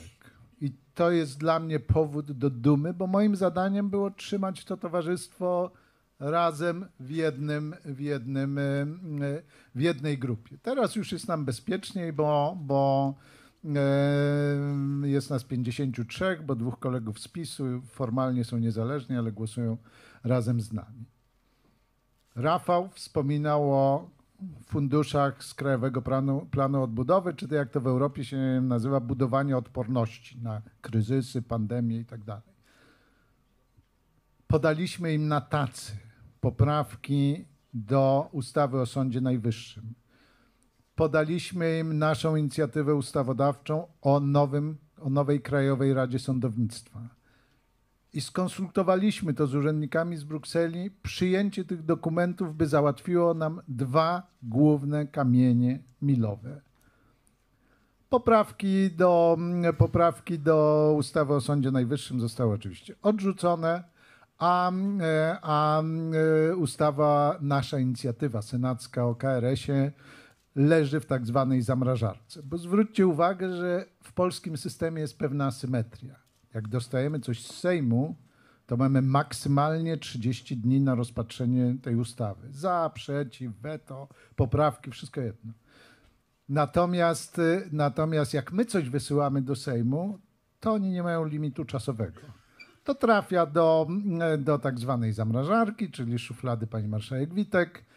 Potem jest koniec kadencji, tak zwana dyskontynuacja, czyli teoretycznie to wyparowuje w powietrze, ale nie do końca, bo my to mamy w swoich komputerach, a ponad, grubo ponad 100 takich projektów legislacyjnych wysłaliśmy i one są w naszej pamięci, w naszych komputerach, więc jak obejmiemy władzę, będą po niewielkich pewnie modyfikacjach gotowe właściwie do porządnej, plenarnej debaty.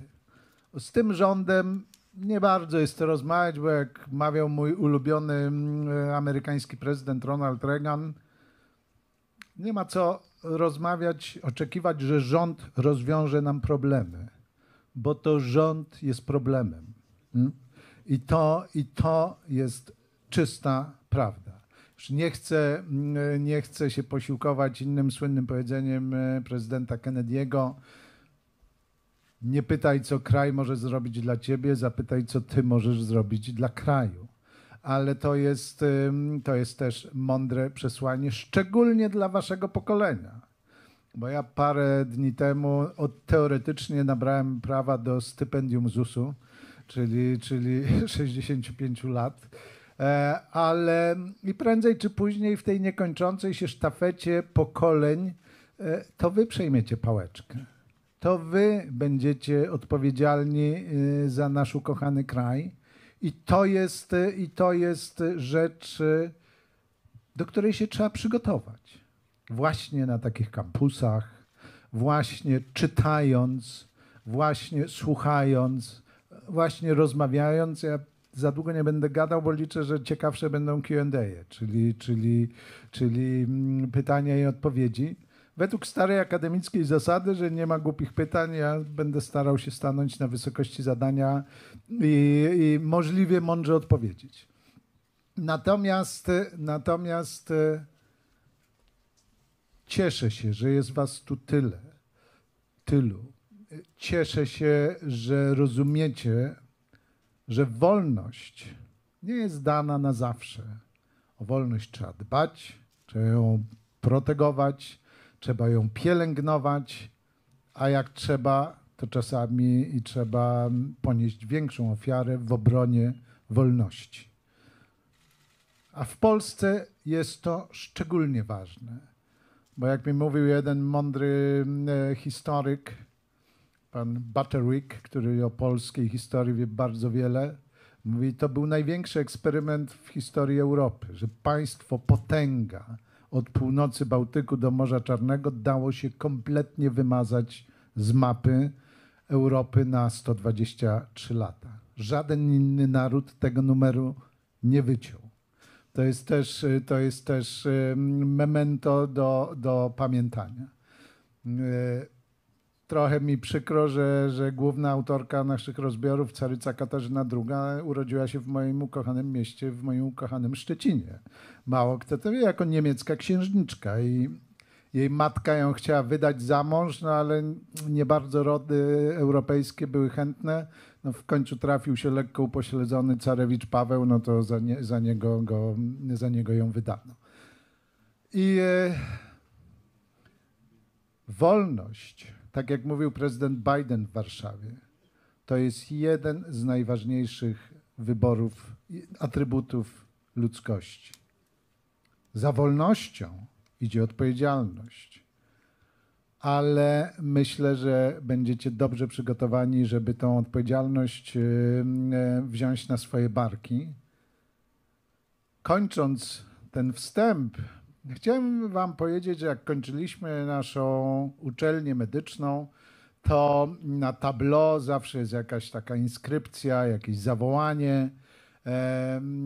Jak w Senacie, to wiecie, jak jest. Senat jest tym, według Frycza Modrzeskiego, co inne władze do szlachetnych uczynków pobudza, od niecnych odwodzi, a emocje studzi. Staramy się to robić, jak nam wychodzi, no to, to, już, to już ocenią nas wyborcy. Ale jak kończyliśmy medycynę, to wymyśliliśmy na tableau hasło, które po łacinie brzmi Alteri vivas oportet si tibi vis vivere, co w wolnym tłumaczeniu na polski brzmi na tyle, na ile żyjesz dla innych, dopiero na tyle żyjesz dla siebie. I im dłużej żyję, tym bardziej się cieszę, że wybraliśmy właśnie e, to hasło, bo jedni żyją dla dzieci, inni żyją dla swoich dziadków, inni żyją dla lokalnej społeczności, jeszcze inni dla rozwoju nauki, e, dla wynalezienia nowych leków, nowych rozwiązań, o czym tak pięknie mówił, mówił Rafał, o, o tym, jaki ten naród jest kreatywny i innowacyjny. Wreszcie inni żyją, żyją, e, żyją dla całej społeczności, dla kraju. I tak na to trzeba patrzeć. A propos, a propos jeszcze mm, kreatywności, pewnie wszyscy oglądają Netflixa. To te gładkie streamingi to idą dlatego, że tym się zajęła Polka. Taka dziewczyna nazwiskiem Karczewicz, która teraz pracuje ze Szczecina, która pracuje, pracuje w Kalifornii i, e, i wymyśliła właśnie, nie wiem, nie, nie jestem elektronikiem, jakiś nowy sposób, żeby te streamingi nawet przy słabym sygnale szły w miarę, w miarę gładko. Ale to jest przykład, jak ten naród jest, jest kreatywny, jeżeli mu się tylko nie przeszkadza. Jeżeli się go nie próbuje wtłoczyć w jakieś średniowieczne ramy. Jeżeli nie próbuje mu się dyktować, jak, ma, jak mamy żyć. Jeżeli mu się nie wmawia, że wróg jest w Berlinie, czy Brukseli, czy Paryżu, a nie w Moskwie, gdzie on jest naprawdę. Jak mu się, jak mu się nie pozwala myśleć tak, jak wolna wola nam to nakazuje. Nigdy nie ulegnijcie e, temu złudnemu przeświadczeniu, co niestety w naszym narodzie się spotyka, że no może klatka ciasna, może, może, może mogłoby być lepiej, ale w sumie kradną, ale się dzielą. No to jest, to jest skandaliczne. I e, wracając do tej myśli o służbie innym, życzę Wam, żeby po tym kampusie, po następnym, po każdym innym, po rozpoczęciu swojej kariery samorządowej, idącej coraz wyżej, gdzie przyświecać Wam będzie zawsze interes innych, nigdy swój, to Polska będzie się miała dobrze, Jestem o tym głęboko przekonany i życzę Wam, abyście tą pochodnię demokracji nieśli przez następne pokolenia dalej, żeby ten kraj był dobrym miejscem do życia dla nas wszystkich. Tego Wam życzę i jestem gotów odpowiedzieć na wszystkie Wasze pytania.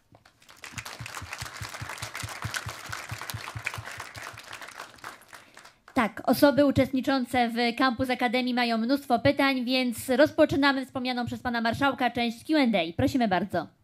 Dzień dobry Panie Marszałku, Gabriela Gładyszewska, Fundacja Grow Space. Mam takie pytanko dotyczące właśnie ostatnich sytuacji. Dziewięć dni temu e, opublikowaliśmy nowe wyniki rankingu szkół przyjaznych środowisku LGBT i doszły nas e, słuchy, e, na razie nie jest o tym bardzo głośno, więc może to też taka ciekawa informacja dla Państwa. Dwa dni temu pojawił się artykuł dotyczący tego, że Rzecznik Praw Dziecka zapowiedział kontrolę w szkołach, które zostały oznaczone jako tolerancyjne tolerancyjne, bezpieczne, otwarte, akceptujące. I moje pytanie brzmi, w jaki sposób możemy przywrócić świetność e, Rzecznika Praw Dziecka i co my możemy zrobić, żeby no, w jaki sposób poprawiła się ta sytuacja? Dziękuję bardzo. Że przywrócić świetność Rzecznika e, Praw Dziecka, no, to jest tylko mały fragmencik sprzątania po PiSie. To jest, y, to jest rzecz tak oczywista, że nie wymaga komentarza, a zwłaszcza mm, y, jego, jego bierność mnie uderzyła przy śmierci Mikołaja Filiksa, czy choćby tegoż, tegoż y, biednego, małego, torturowanego Kamilka. Natomiast nie wiem, czy wiecie, my co miesiąc organizujemy spotkania w Senacie, gdzie przyjeżdża gdzie przyjeżdża 100 licealistów, no bo więcej się po prostu na naszej sali nie mieści. Zwykle są ze 3-4 klasy z różnych części Polski e, i poruszamy wszystkie tematy. To się oni sami to nazwali gadka senacka, to jest transmitowane na mediach, także jak ktoś chce, warto posłuchać, bo to polega na tym, że, że jest dwóch, trzech ekspertów, e, ale głównie to polega na ich dyskusji. Wczoraj było o sporcie czy sport jest koniecznością, czy przyjemnością, ale były i wagary, i LGBT, i perspektywy pracy, i Ukraina, wszystko to, co oni wymyślają tematy. Ja im tylko daję salę i próbuję tam na początku jakąś małą zajawkę powiedzieć. Natomiast, natomiast szacunek dla każdego człowieka, niezależnie czy on, jaki on ma kolor skóry, on, jakie on ma przekonania polityczne, jakiej jest orientacji seksualnej. Dla ludzi przyzwoitych, nawet nie znających zapisów w Konstytucji, bo to tam jest wszystko zapisane. To, to jest rzecz oczywista. Dla ludzi podłych to jest powód do szerzenia nietolerancji i wzajemnej nienawiści. I z tym trzeba walczyć do korzeni, wykorzenić to. I mamy drugie pytanie do pana marszałka, proszę bardzo. Dzień dobry panie marszałku, Michał Błotny, Nowa Generacja Warszawa. Chciałem zapytać o tym, co już pan wspomniał, o tej dysproporcji pomiędzy Sejmem i Senatem, dlatego że e, Senat, e, państwo jako senatorowie zbierają różne elektoraty. Można naprawdę wskazać kilkunastu posłów, którzy mają takie poparcie jak państwo senatorowie. E, Więc oczywiście to jest spowodowane przez to- ale łączycie, ale łączycie te elektoraty, dlatego tym bardziej chciałbym zapytać, czy jest planowana jakaś reforma po, e, konstytucyjna po wygraniu e, przez opozycję wyborów, dlatego że chociażby terminy, o których Pan wspomniał, ale też odrzucanie może większością kwalifikowaną, a nie tak jak teraz jest bezwzględną. Czy są na ten temat rozmowy w, na opozycji? Dziękuję. Odrzucenie większością kwalifikowaną e, to przysługuje wetu pana prezydenta, jak wiesz. Natomiast, e, natomiast e, dla nas wystarczy no, 231. Ale ta konstytucja, nawet jeżeli uznać, że ona może nie jest e, 100% perfekcyjna, ona istnieje od 97 roku, co już samo w sobie jest wartością. I pamiętasz, że były mm, paręnaście lat temu, jak cały czas Sejm i Senat były w tych samych rękach, to zaczęły się mowy, że może ten Senat jest niepotrzebny i tak dalej. Nawet ktoś tam chyba zbierał jakieś podpisy, ale, mm, e, ale to tak jest, że jak Polska się miała dobrze, to Senat, czy się nazywał Radą Królewską, czy Senatem, zawsze był potrzebny. Ktoś, kto chciał skrzywdzić Polskę, mimo że wszyscy uważali ten Senat za taki mało ważny, pierwsze co, wycinali Senat. Tak robili zaborcy, tak robili komuniści w wyniku sfałszowanego referendum, więc y, y, w polskim systemie konstytucyjnym, mimo całego naszego mniemania o wielkości Senatu, mówię to żartem, żeby nie, by, żeby nie było wątpliwości, Sejm ma większą władzę. I tak jest. Natomiast wszelkie dyskusje o manipulowaniu przy konstytucji, to trzeba, w mojej ocenie, wiesz, to jest trudna operacja. To trzeba się dobrze nad tym zastanowić, bo to jest tak, jak wiesz, jak e, ci twórcy konstytucji, wtedy im się wydawało, że słowo niezwłocznie jest zrozumiałe i oczywiste a, e, albo jak bez zbędnej zwłoki, jak mawiają patolodzy. Także, e, ale, ale e, okazało się, że można tym manipulować. Jeżeli ktoś ma złe intencje, to to słowo interpretuje na 100 różnych sposobów, typu dwa lata nie, dwa lata nie publikując orzeczenia Trybunału Konstytucyjnego, jak miała to zrobić pani premier Szydło. Więc nawet najdoskonalsza e, konstytucja, jeżeli się do niej podchodzi ze złymi zamiarami, złymi intencjami, nas nie uratuje. Czysta przyzwoitość. A wierzę, że przyzwoitych ludzi na tej planecie i w naszym kraju jest więcej od ludzi podłych. No inaczej, inaczej by to wszystko nie miało sensu. To, to każda zmiana konstytucji którą przynajmniej po naszej stronie darzymy ogromnym szacunkiem, bo to jest pewien filar, na którym stoi Rzeczpospolita. Musi być dobrze przemyślana, dobrze mm, przedyskutowana. Jak trzeba będzie, to się ją wprowadzi, ale nic pochopnie. Nie? Szukam kolejnych rąk w górze. A jest tu trochę. Tak. Dzień dobry, Kasia Dajewska-Grudziądz. Ja z racji zawodu pana marszałka chciałabym zapytać o masowo otwierane kierunki lekarskie. Y, Mam tutaj na myśli szczególnie te miejsca, gdzie nie ma bazy dydaktycznej, zaplecza, kadry. Mało tego, kierunki te mają tam negatywną opinię komisji akredytacyjnych. Zaczynamy kształcić coraz więcej lekarzy, y, coraz mniej pielęgniarek, a wiemy, że te proporcje powinny być odwrotne i to prowadzi do katastrofy. Więc chciałabym poprosić o komentarz pana marszałka. Dziękuję. No to teraz już skończyliśmy spotkanie, bo o medycynie to ja mogę mm, godzinę. Natomiast e, słyszałem, że i w Płocku będzie kierunek lekarski. I e, temat jest, z czego się bierze. Że mamy rzeczywiście mało lekarzy, mało pielęgniarek. mamy przede wszystkim tragicznie małe nakłady na system ochrony zdrowia. Bo średnia europejska to jest 9% PKB, niezależnie czy potężnego niemieckiego, czy ciut uboższego portugalskiego, ale jest powyżej 9%, a Niemcy mają 11%. My 4,7%. I to wynika z zaszłości, jeszcze z doktryny Gomułki, że medycy sobie zawsze poradzą i tam pacjent zawsze znajdzie drogę do doktora. To stare takie archaiczne poglądy. A medycyna od czasów Bismarcka, gdzie doktor chodził z teczuszką i stetoskopem, to się dużo zmieniła, bo, bo jest droga, kosztowna. Jeżeli chcemy kogoś leczyć nowocześnie, to, no to niestety to kosztuje. I te gadki o darmowych lekach, to nic mnie bardziej nie denerwuje, obietnice Kaczyńskiego, bo jak to wyliczyliśmy z zespołem Bartka Łukowicza, to raptem przypada 10 zł na jednego obywatela, czyli syropu nie kupi za, za, e, za, za darmo. Natomiast problem jest trochę gdzie indziej, bo jestem ze Szczecina, który jest beneficjentem zniknięcia żelaznej kurtyny. Tam nie ma granicy, jeździmy w tej nazad, ale są ludzie w Szczecinie, którzy skończyli studia w Szczecinie, a pracują w Niemczech. Bo tutaj stażysta dostaje tam powiedzmy sobie około 4000 złotych, a 30 kilometrów dalej, gdzie dojeżdża krócej niż jakby w poprzek przez Warszawę jeździł, dostaje 4000 euro, kasę na zagospodarowanie, na naukę języka i mieszka w Szczecinie. I, i to jest win-win option. Nie mówiąc o tych, co emigrują dalej. Jedna trzecia absolwentów naszych uczelni medycznych składa wnioski do izb lekarskich o zgodę na wyjazd za granicę. I to, e, i to e, ilu wyjeżdża naprawdę, tego nikt nie wie, bo tego nikt nie kontroluje. Natomiast jesteśmy w pewnym sensie fabryką dobrze wykształconych lekarzy e, dla połowy Europy. Na, I oczywiście PiS to chce kijem?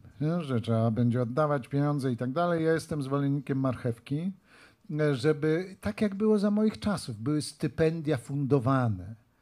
Koledzy, na przykład budował się wtedy szpital w Gorzowie i koledzy uchodzili za krezusów na naszym roku, bo dostawali miesiąc w miesiąc tysiąc złotych za to, że potem trzy lata przepracują w tym szpitalu.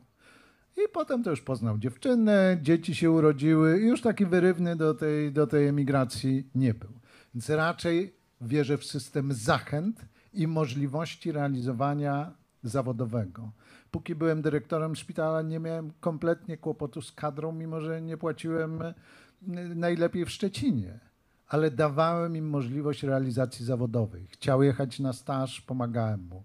Chciał, żebym mu kupił nowe narzędzie, pomagałem im. I tak dalej. Teraz jest trochę inaczej. Ale e, wracając do tych kierunków. Jest jedna prosta zasada, bo o to mnie pytano wielokrotnie. Nie ma znaczenia, gdzie znajduje się ta uczelnia, pod warunkiem, że spełnia w 100% kryteria jakościowe. To jest ważne, żebyśmy nie kształcili przysłowiowych felczerów, chociaż znam wielu mądrych starszych felczerów, tylko kształcili lekarzy tak samo w Płocku, w Warszawie, w Zielonej Górze, czy mm, gdzie tam jeszcze te kierunki w tej chwili powstają. Jeżeli tego będziemy się trzymać, a jest tym, jak to w Polsce, troszkę różnie. Jeżeli dominują lokalne ambicje nad y, kwestią zachowania jakości, to no, trzeba powiedzieć jasno, to nie jest dobry kierunek. Natomiast jeżeli przestrzegają jakości kształcenia, jeżeli jest duży szpital w okolicy, gdzie mm, jeszcze zapewni się dostęp do nauki teoretycznej na pierwszych latach, czyli anatomia, fizjologia, biochemia, i to można wszystko zorganizować. Ja sam w tym niektórym kolegom, takim nowym rektorom nowych uczelni pomagałem, ale, ale to jest kluczowe. Jakość. Wiecie, wie, wiesz, gdzie jest najlepszy szpital na świecie? Mayo Clinic w Rochester w Minnesocie. To jest miasteczko wielkości Pruszkowa na kompletnym zadupiu. Tam wokół są tylko pola kukurydzy i pierwsza izba, pierwsza selekcja rannych odbywa się na lotnisku, małym, bo tam nikt inny nie przylatuje. Więc y, od razu jest selekcja, kogo karetką, kogo ten, a stworzyli to dwaj bracia Mayo, e, dlatego dla miejscowych rolników, farmerów e, z Minnesoty. Tylko, że byli ludźmi przyzwoitymi, ich logo to są trzy tarcze. Nauka, klinika e, i edukacja. I stworzyli gigant.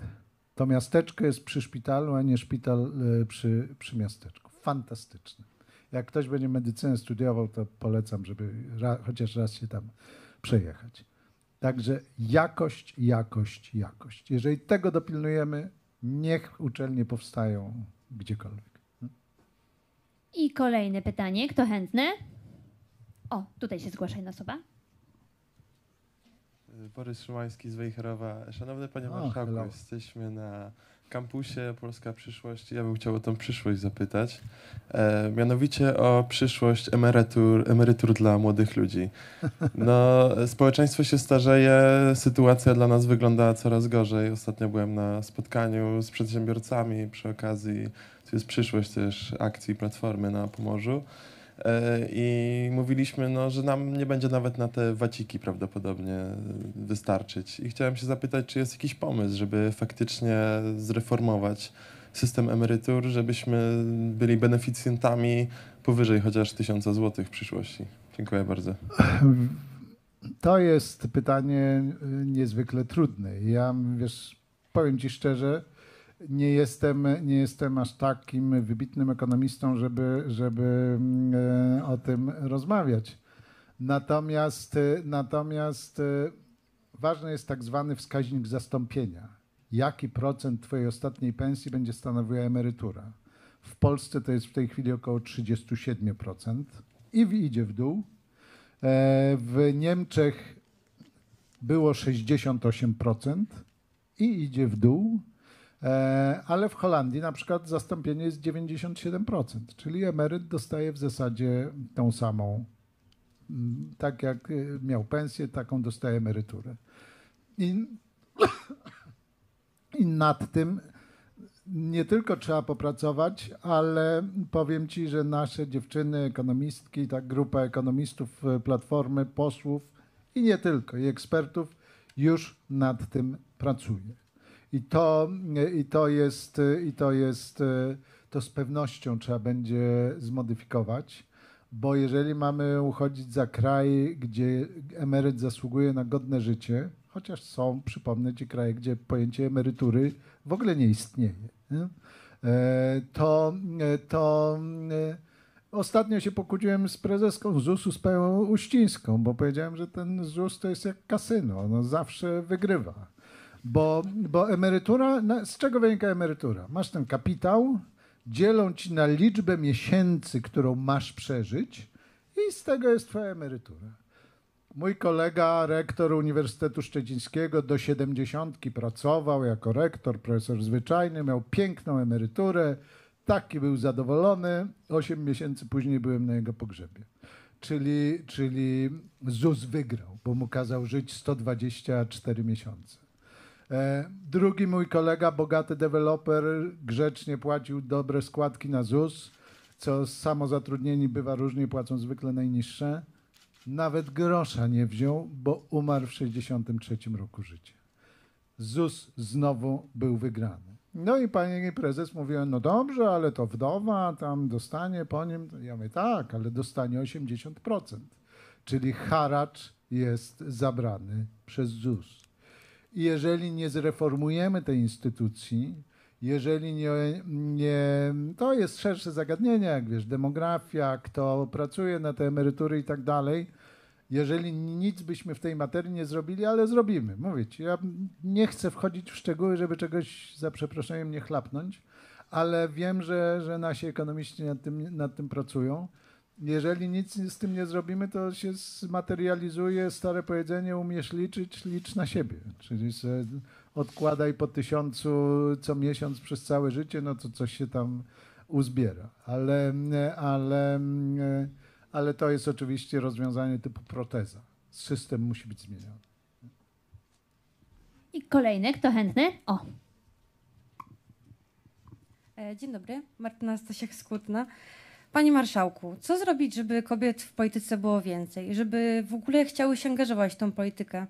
Często słyszymy, my kobiety, że jesteśmy za słabe, jesteśmy wykluczane. E, A pytam to dlatego, że w Senacie jest o wiele mniej kobiet niż mężczyzn. Dziękuję bardzo. No i tutaj sobie nie mamy nic do zarzucenia, bo premier Tusk to ma, można by rzec, obsesję na temat tak zwanego suwaka, że, że mężczyzna, kobieta, mężczyzna, albo nawet i odwrotnie, kobieta, mężczyzna, kobieta na pierwszych trzech miejscach, tak zwanych biorących często w różnych okręgach.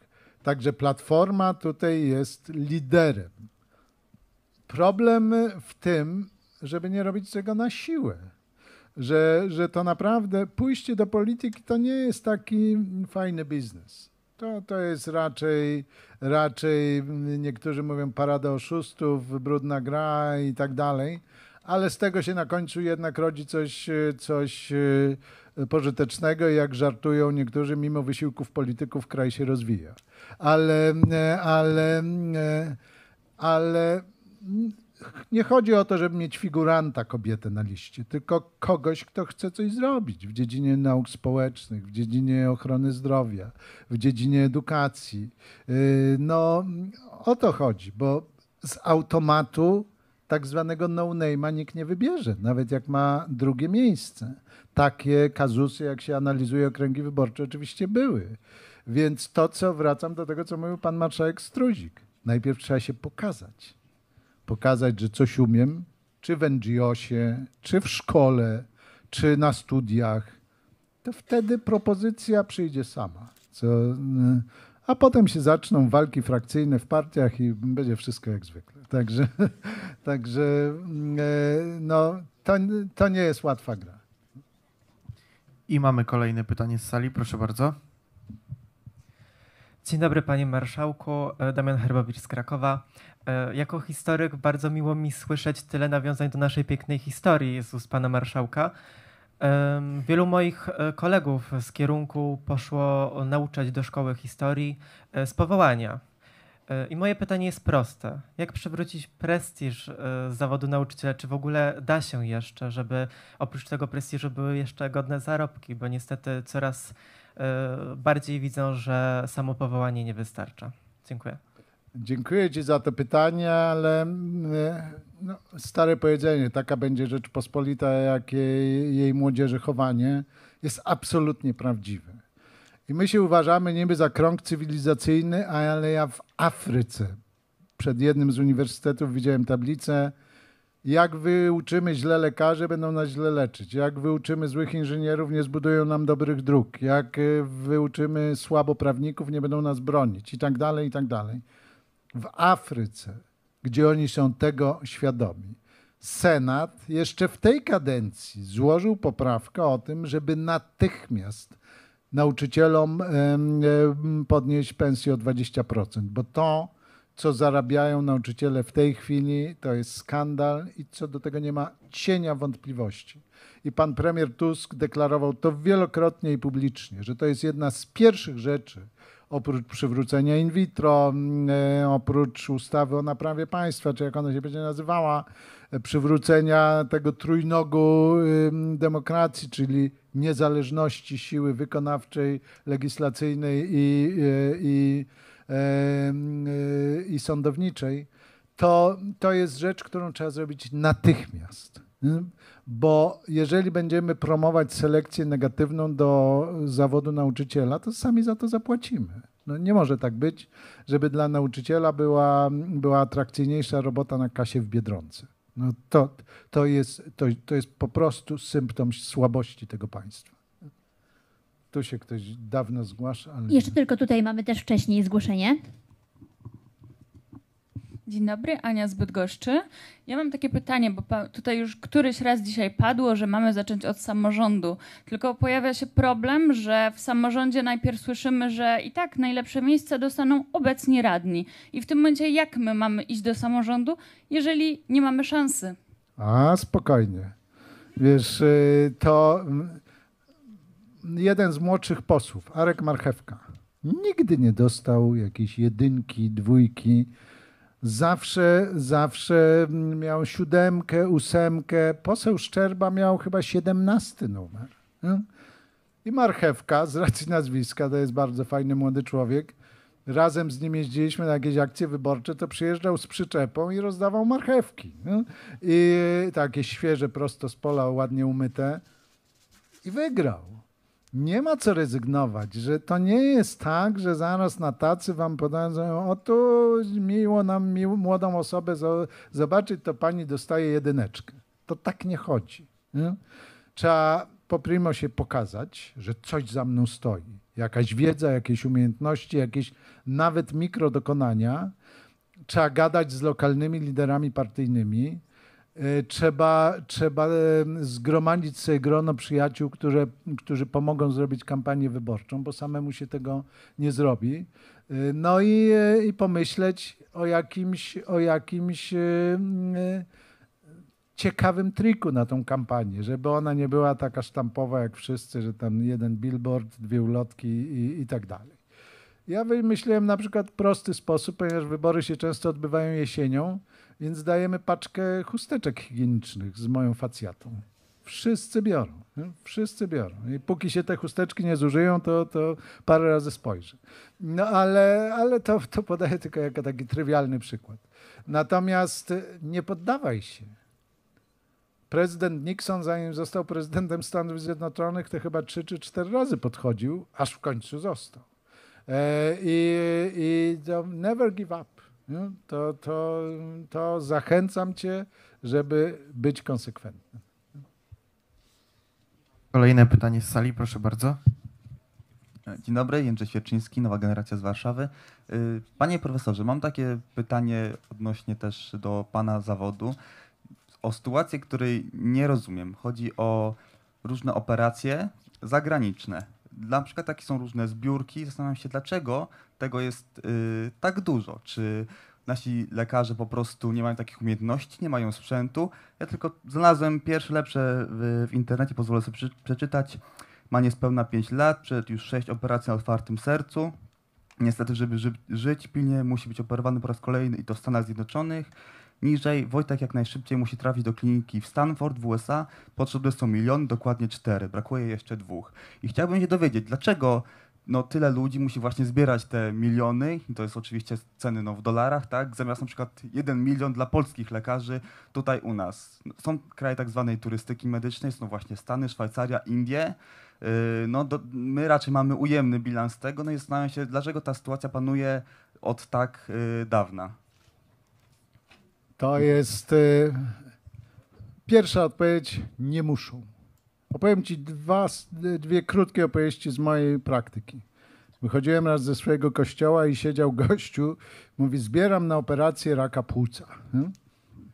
I ja mu po- podszedłem i mówię, o to pan dobrze trafił, bo ja akurat te raki płuca wycinam, to, to proszę, zapraszamy do szpitala w Zdunowie, wytniemy. Co usłyszałem, mówiąc w jednym słowie, żebym szybko się oddalił, czyli po prostu spier, bo mu psuje interes. E, Natomiast, natomiast e, ostatnio się, jest szkoła w Braniewie i jedyna w Polsce imieniem Senatu RP. Tam była chora dziewczynka. I też była taka zbiórka do Niemiec tym razem. Za- Na operację neurochirurgiczną, no mniejsza o to jaką. Zaangażowałem się w to, a w Szczecinie jest y, wybitny neurochirurg y, dziecięcy, profesor Sagan, który, który notabene ma obywatelstwo amerykańskie, uczył się połowę życia w Stanach i jest naprawdę super. I on obejrzał papiery i mówi, nie ma problemu, my to możemy zoperować. Tydzień temu zoperowałem większy podobno, większą podobną zmianę. Zadzwoniłem do tego Braniewa, a nie, dziękujemy, bo my już jednak do tych Niemiec. No? To jest dirty business. To jest y, w dużej mierze brudny biznes kreowany przez naciągaczy. Już nie chcę mówić o nieliczne przypadki z tych, co się robi, te zbiórki, nie mogą być zoperowane w Polsce. Jest zawsze w naszym kraju przynajmniej jeden albo paru speców, którzy to umieją zrobić. I, e, i mówię, nieliczne, nie są możliwe. I tu się trzeba zgodzić i wtedy trzeba płacić. Natomiast reszta to jest brudny rynek naciągactwa. Jest w Niemczech taki szpital, gdzie jest polski doktor, który rozpuszcza takie wici, przyjmuje te dzieci do siebie, dostaje procent od tego, co, co nagoni pacjentów. To jest, nie, to jest zgodne z prawem, ale moralnie absolutnie nieetyczne. I, e, i e, naprawdę, zanim was ktoś będzie pytał o jakieś takie zbiórki, spróbujcie popytać znajomych młodych lekarzy czy, czy starszych lekarzy. Naprawdę 80 ponad procent tych operacji może być wykonanych w Polsce. Ja to wiem i a co więcej widziałem raz y, przyjechał do nas facet po operacji, którą robimy dziennie sześć. W Stanach, nie, przepraszam, zgrzeszyłbym, w Niemczech. I mówi, tu miał tu guza płuc, tu tego. No ale patrzę na zdjęcie, ten guz jest. Ja mówię, panie, co oni pani tam zrobili? Okazało się, że jakiś hochsztapler skasował go tam 17 tysięcy euro i mu naciął tylko skórę. No to, to jest kryminał. Na ten temat doniosłem do niemieckiej izby lekarskiej, bo uważałem, że to już jest przegięcie. Natomiast, natomiast to jest rynek. Rzecz polega na tym, że w każdym szpitalu na świecie pacjent to jest mile widziany klient, za którym postępują pieniądze. W Polsce, jak dyrektor szpitala ma za dużo pacjentów, za których mu NFZ zapłaci albo i nie zapłaci, albo 50%, to, to ma ból głowy. Syst polski system ochrony zdrowia to jest spetryfikowany socjalizm. Cena urzędowa, produkt limitowany. To, to się tak odbywa, słuchajcie. Wyobraźcie sobie, że zamiast pacjentów są krzesła. Jest, y, produkujemy dobre krzesła. Produkcja kosztuje 100 zł, nakładamy marżę 10 zł, kolejka po te krzesła czeka. Super biznes. Fabryka kwitnie. Ale nie, nie, przychodzi taki regulator i mówi, ile pan tych krzeseł może wyprodukować? No spokojnie tysiąc miesięcznie. To my kupujemy, ale tylko 300. Hmm? Ale ja mogę, mam zbyt. Ja, no, pana biznes, kolejka czeka. Nie, nie, my tylko 300. A ile tam pan kosztuje pana produkcja jednego krzesła? 100 zł. Nie, nie, my płacimy 80. Czyli z góry dyrektor szpitala wie, że przynajmniej niektóre jego procedury będą deficytowe. I każdy dyrektor, który chociaż trochę oleju w głowie ma, to wie ale musi to robić, bo to jest publiczna służba zdrowia i stąd te gigantyczne zadłużenia szpitali, bo, bo, bo to w tym systemie nie działa i to trzeba wszystko przewrócić do góry nogami, ale opór materii w tej jest, jest dość, dość znaczny, ale pamiętaj, jeżeli zanim wyślemy kogoś za granicę, możecie nawet do mnie zadzwonić. Ja znam sporo kolegów z dziedzin zabiegowych i mówię to z całkiem serio ponad 80% tych rzekomo niemożliwych do wykonania operacji można wykonać w Polsce. Czas nas goni, więc ostatnie dwa pytania. Dzień dobry Panie Marszałku, Paulina Filipowicz. Ja miałam przyjemność uczestniczyć w spotkaniu w Senacie, które, które Pan Profesor zainicjował o zdrowiu psychicznym dzieci i młodzieży, o kryzysach zdrowia psychicznego. My tam byliśmy jako przedstawiciele porozumienia tak dla prewencji suicydalnej, e, gdzie działamy w ramach e, raportu, który, który też opublikowaliśmy na temat rekordu kryzysów suicydalnych wśród dzieci i młodzieży. To spotkanie było niezwykle ważne i ja z tego miejsca bardzo dziękuję za, za tą inicjatywę. Um, no właśnie, ale byliśmy tam, byli przedstawiciele różnych organizacji, zabrakło przedstawicieli ministerstw i przedstawicieli rządu, więc tutaj w swoim gronie o tym rozmawialiśmy. Pan też mówił wtedy o tym, że większość w Senacie uh, wnioskowała o 700 milionów uh, z budżetu. Natychmiast, interwencyjnie. Tak, tak, ale Sejm to odrzucił. No i moje pytanie jest takie, co my jeszcze, jak my jako aktywiści, wy jako politycy możemy jeszcze dalej zrobić, żeby, żeby jednak te, te kryzysy zatrzymać, żeby mimo tych przeciwności, nie poddawać się w tej walce o zdrowie psychiczne? Przede wszystkim zmienić tą władzę. Po prostu. E, wracam do tego, co powiedział prezydent Reagan. nie pytajmy tego rządu o rozwiązanie problemu, bo to ten rząd jest problemem.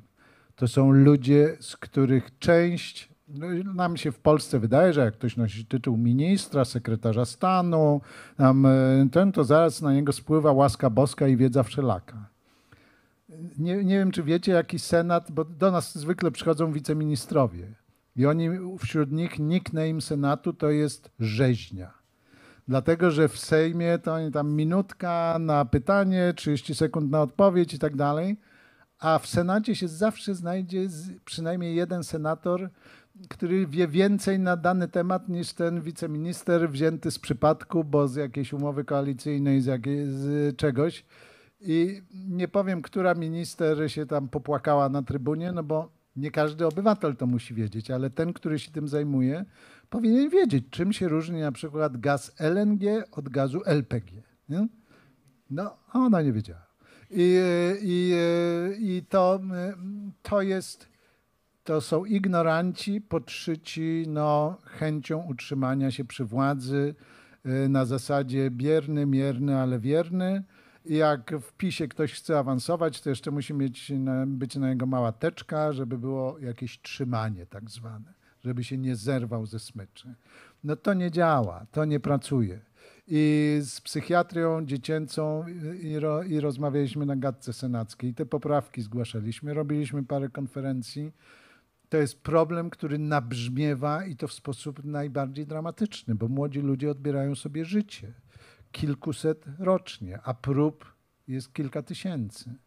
E, tam dwa tysiące z czymś to, to mm, no, jak na to nie zareagujemy, a nie przybędzie nam psychiatrów od, od razu. Natomiast można ich lepiej trochę dystrybuować, lepiej przeorganizować, namówić ich do roboty w szkołach, zapłacić im za to. E, no, kroczków jest sporo, e, ale, ale pierwsze co trzeba odsunąć tą ekipę od władzy, bo z nimi nic nie ugramy. I ostatnie. Arkadiusz, y, Młodzi Nowoczesni Warszawa i mam takie pytanie, bo koleżanka mnie trochę uprzedziła, było w tej samej kwestii, dlatego zapytam się, patrząc w przyszłość, widzimy, że nasze społeczeństwo się starzeje. Więc jak zapewnić dobrą opiekę geriatryczną i stworzyć taki pakiet dla seniorów, aby mogli szybciej się dostawać do tych lekarzy, żeby te kolejki, które są rodem z PRL-u w tych przychodniach i wymianą różnych poglądów, E, się skończyły po prostu, a lekarze mogli się, żeby lekarze mogli szybciej obsługiwać po prostu seniorów w przychodniach. Wiesz co, to też jest dość złożony problem, ale myśmy trochę bezmyślnie skopiowali wzorce amerykańskie, gdzie historia choroby też jest taka księga, tylko że lekarz jest jak lotniskowiec, otoczony flotyllą pomocniczą. Każdy lekarz zatrudniony w klinice ma sekretarkę, która mu pisze, jak wychodzi z bloku, to nie pisze w tej książeczce i drugi raz w komputerze, tylko dyktuje na dyktafon przebieg operacji, ktoś inny to zapisuje. Są starsi lekarze albo felczerzy, którzy rano robią wizytę i prowadzą lekarza e, tylko do, do kluczowych przypadków. I tak dalej, i tak dalej. Jak na przykład się idzie do poradni, no to polski lekarz około 30 ludzi dziennie ma przyjąć, bo tak mu NFZ dyktuje amerykański przyjmuje 80. Dlatego, że tam są takie boksy. Ja, to, ja wielokrotnie tam się i szkoliłem, potem wykładałem, to to widziałem na własne oczy. Tam są boksy, gdzie najpierw pierwszy wywiad zbiera dyplomowana pielęgniarka, zleca część badań, on to widzi w swoim komputerze i zbiorczo może mówić, a jeszcze to doróbmy, jeszcze to doróbmy, jeszcze to doróbmy. I on wchodzi na trzy minuty na kluczową rozmowę na kluczowe decyzje diagnostyczne czy lecznicze i już receptę wypisuje ktoś inny, już te dokumenty o pobycie w szpitalu wypisuje ktoś inny i on przechodzi z tego boksu do boksu. Jak jest w ostatnim, to te pierwsze już są zajęte przez następnych pacjentów, także nie ma zmarnowanej minuty. Idea jest prosta. Po to za ciężkie pieniądze kształcimy lekarzy i pielęgniarki, żeby oni się oddawali temu, do czego ich kształcimy, czyli diagnozowaniu, leczeniu, opiece nad chorymi. I żeby zajmowało im to co najmniej 80% czasu, a 20% niestety konieczna biurokracja. W Polsce jest to odwrotnie. Lekarze 80% czasu marnują na tak zwane kwity, często dublowane, e, bo jest jedna sekretarka w klinice, zamiast 60 pielęgniarek jest 20. Zamiast, e, zamiast 10 komputerów e, jest 5 i trzeba czekać, aż się do niego dostanie. Często systemy są dość archaiczne i nic tak człowieka nie uspokaja po operacji, jak to kółko tam latające tam please wait, nie? I Gdzie, gdzie człowiek wie, że w poradni czeka 30 właśnie mm, klientów zdenerwowanych na zdenerwowanego lekarza. I to się, i to się tak dzieje. No nie, ta reforma zaczyna się od słabych pieniędzy, ale to jest tylko ułamek problemu. To trzeba zmienić od podstaw do góry. Nie, nie, nie ma na świecie idealnych systemów, to trzeba powiedzieć, ale są lepsze i gorsze. Lepsze takie jak duński, szwajcarski, niemiecki, dość drogie. Doskonały jak amerykański, który oferuje najlepszą pomoc na świecie, ale z drugiej strony dla nieubezpieczonych taką mocno podstawową. Czy kanadyjski, który, który był publiczny i się załamał. Kolejki rosną, zwłaszcza po COVID-zie, a, a wszelkie próby otwarcia takiej furtki prywatyzacyjnej w Kanadzie socjalistycznej to, to nie bardzo się sprawdzają. Więc, więc nie ma co wymyślać trzeciej drogi, czy y, wyważać otwartych drzwi, tylko trzeba szukać wzorców od tych, y, tych najmądrzejszych, tych, którym to się udało. Na przykład Hiszpanom. To jest porównywalny kraj do naszego. Ich system jest dużo sprawniejszy. Też to wiem, bo też tam je, jeździłem z wykładami. Y, Także, także to jest duża robota, ale y, co do geriatrii, ludzie nie chcą teraz leżeć w szpitalu. Często nie, nie muszą leżeć w szpitalu. Wystarczy, jak to jest dobry dom seniora, gdzie leżą zarówno ci, którzy wymagają pełnej opieki, bo są niewładni, jak ci, którzy sobie jako tako samo radzą i nawet starsze małżeństwa, którym się oferuje mieszkania. Tak jest w wielu krajach. Te, te domy seniora, no nawet jeden senator, senator Godyla z Opolszczyzny, ma taki dom seniora, to nie przymierzając, sam bym tam chciał dożywać swoich dni, bo jest bardzo fajny, z ułatwieniami, nawet ze zwierzętarnią obok, żeby tam ktoś się interesuje królikami czy kurami, to mógł sobie y, się nimi opiekować. Więc model, model się zmienia. Szpitale powinny być mniej łóżek, ale tylko ostrych. Większa część jednodniówki tak zwanej, jeszcze większa część ambulatoryjna, bo ludzie nie chcą w tej chwili mm, spędzać czasu w szpitalu, a jeżeli nie są w stanie być w domu, to raczej dla nich są oddziały geriatryczne, czy domy pomocy społecznej, czy domy seniora, bo DPS to brzmi tak dziwnie. Ale mm, więc, więc przemodelowanie tego systemu musi być naprawdę dość głębokie. Nie wiem, czy to starczy na jeden period 4 lata. Duńczykom zbudowanie systemu, który zadowala każdego Duńczyka, zajęło 16 lat. My moim zdaniem nie mamy tyle czasu, ale oni w tej chwili tak wypracowali, że jak Duńczyk czeka za długo na planowaną operację, to ma prawo jechać do każdego kraju Unii Europejskiej i mu e, ministerstwo zwróci pieniądze. No, także no, rozwiązań jest sporo. Moi drodzy, profesor Tomasz Grodzki, wielkie brawa. Obiecałem, że skończymy za 15, jest za 10, więc prawie się udało. Widzimy się 4 czerwca.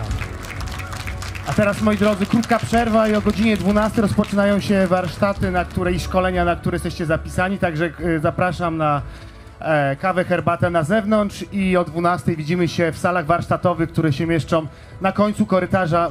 Dwie... O, Paulina. E, Tak, więc e, Młodzi w kryzysie gospodarczym, sala warsztatowa numer 3, czyli na, na piętrze, komunikacja w social mediach, sala warsztatowa numer 1, czyli to jest ta mała kinowa i e, Młodzi w realizacji projektów, sala warsztatowa numer 2, też na dole.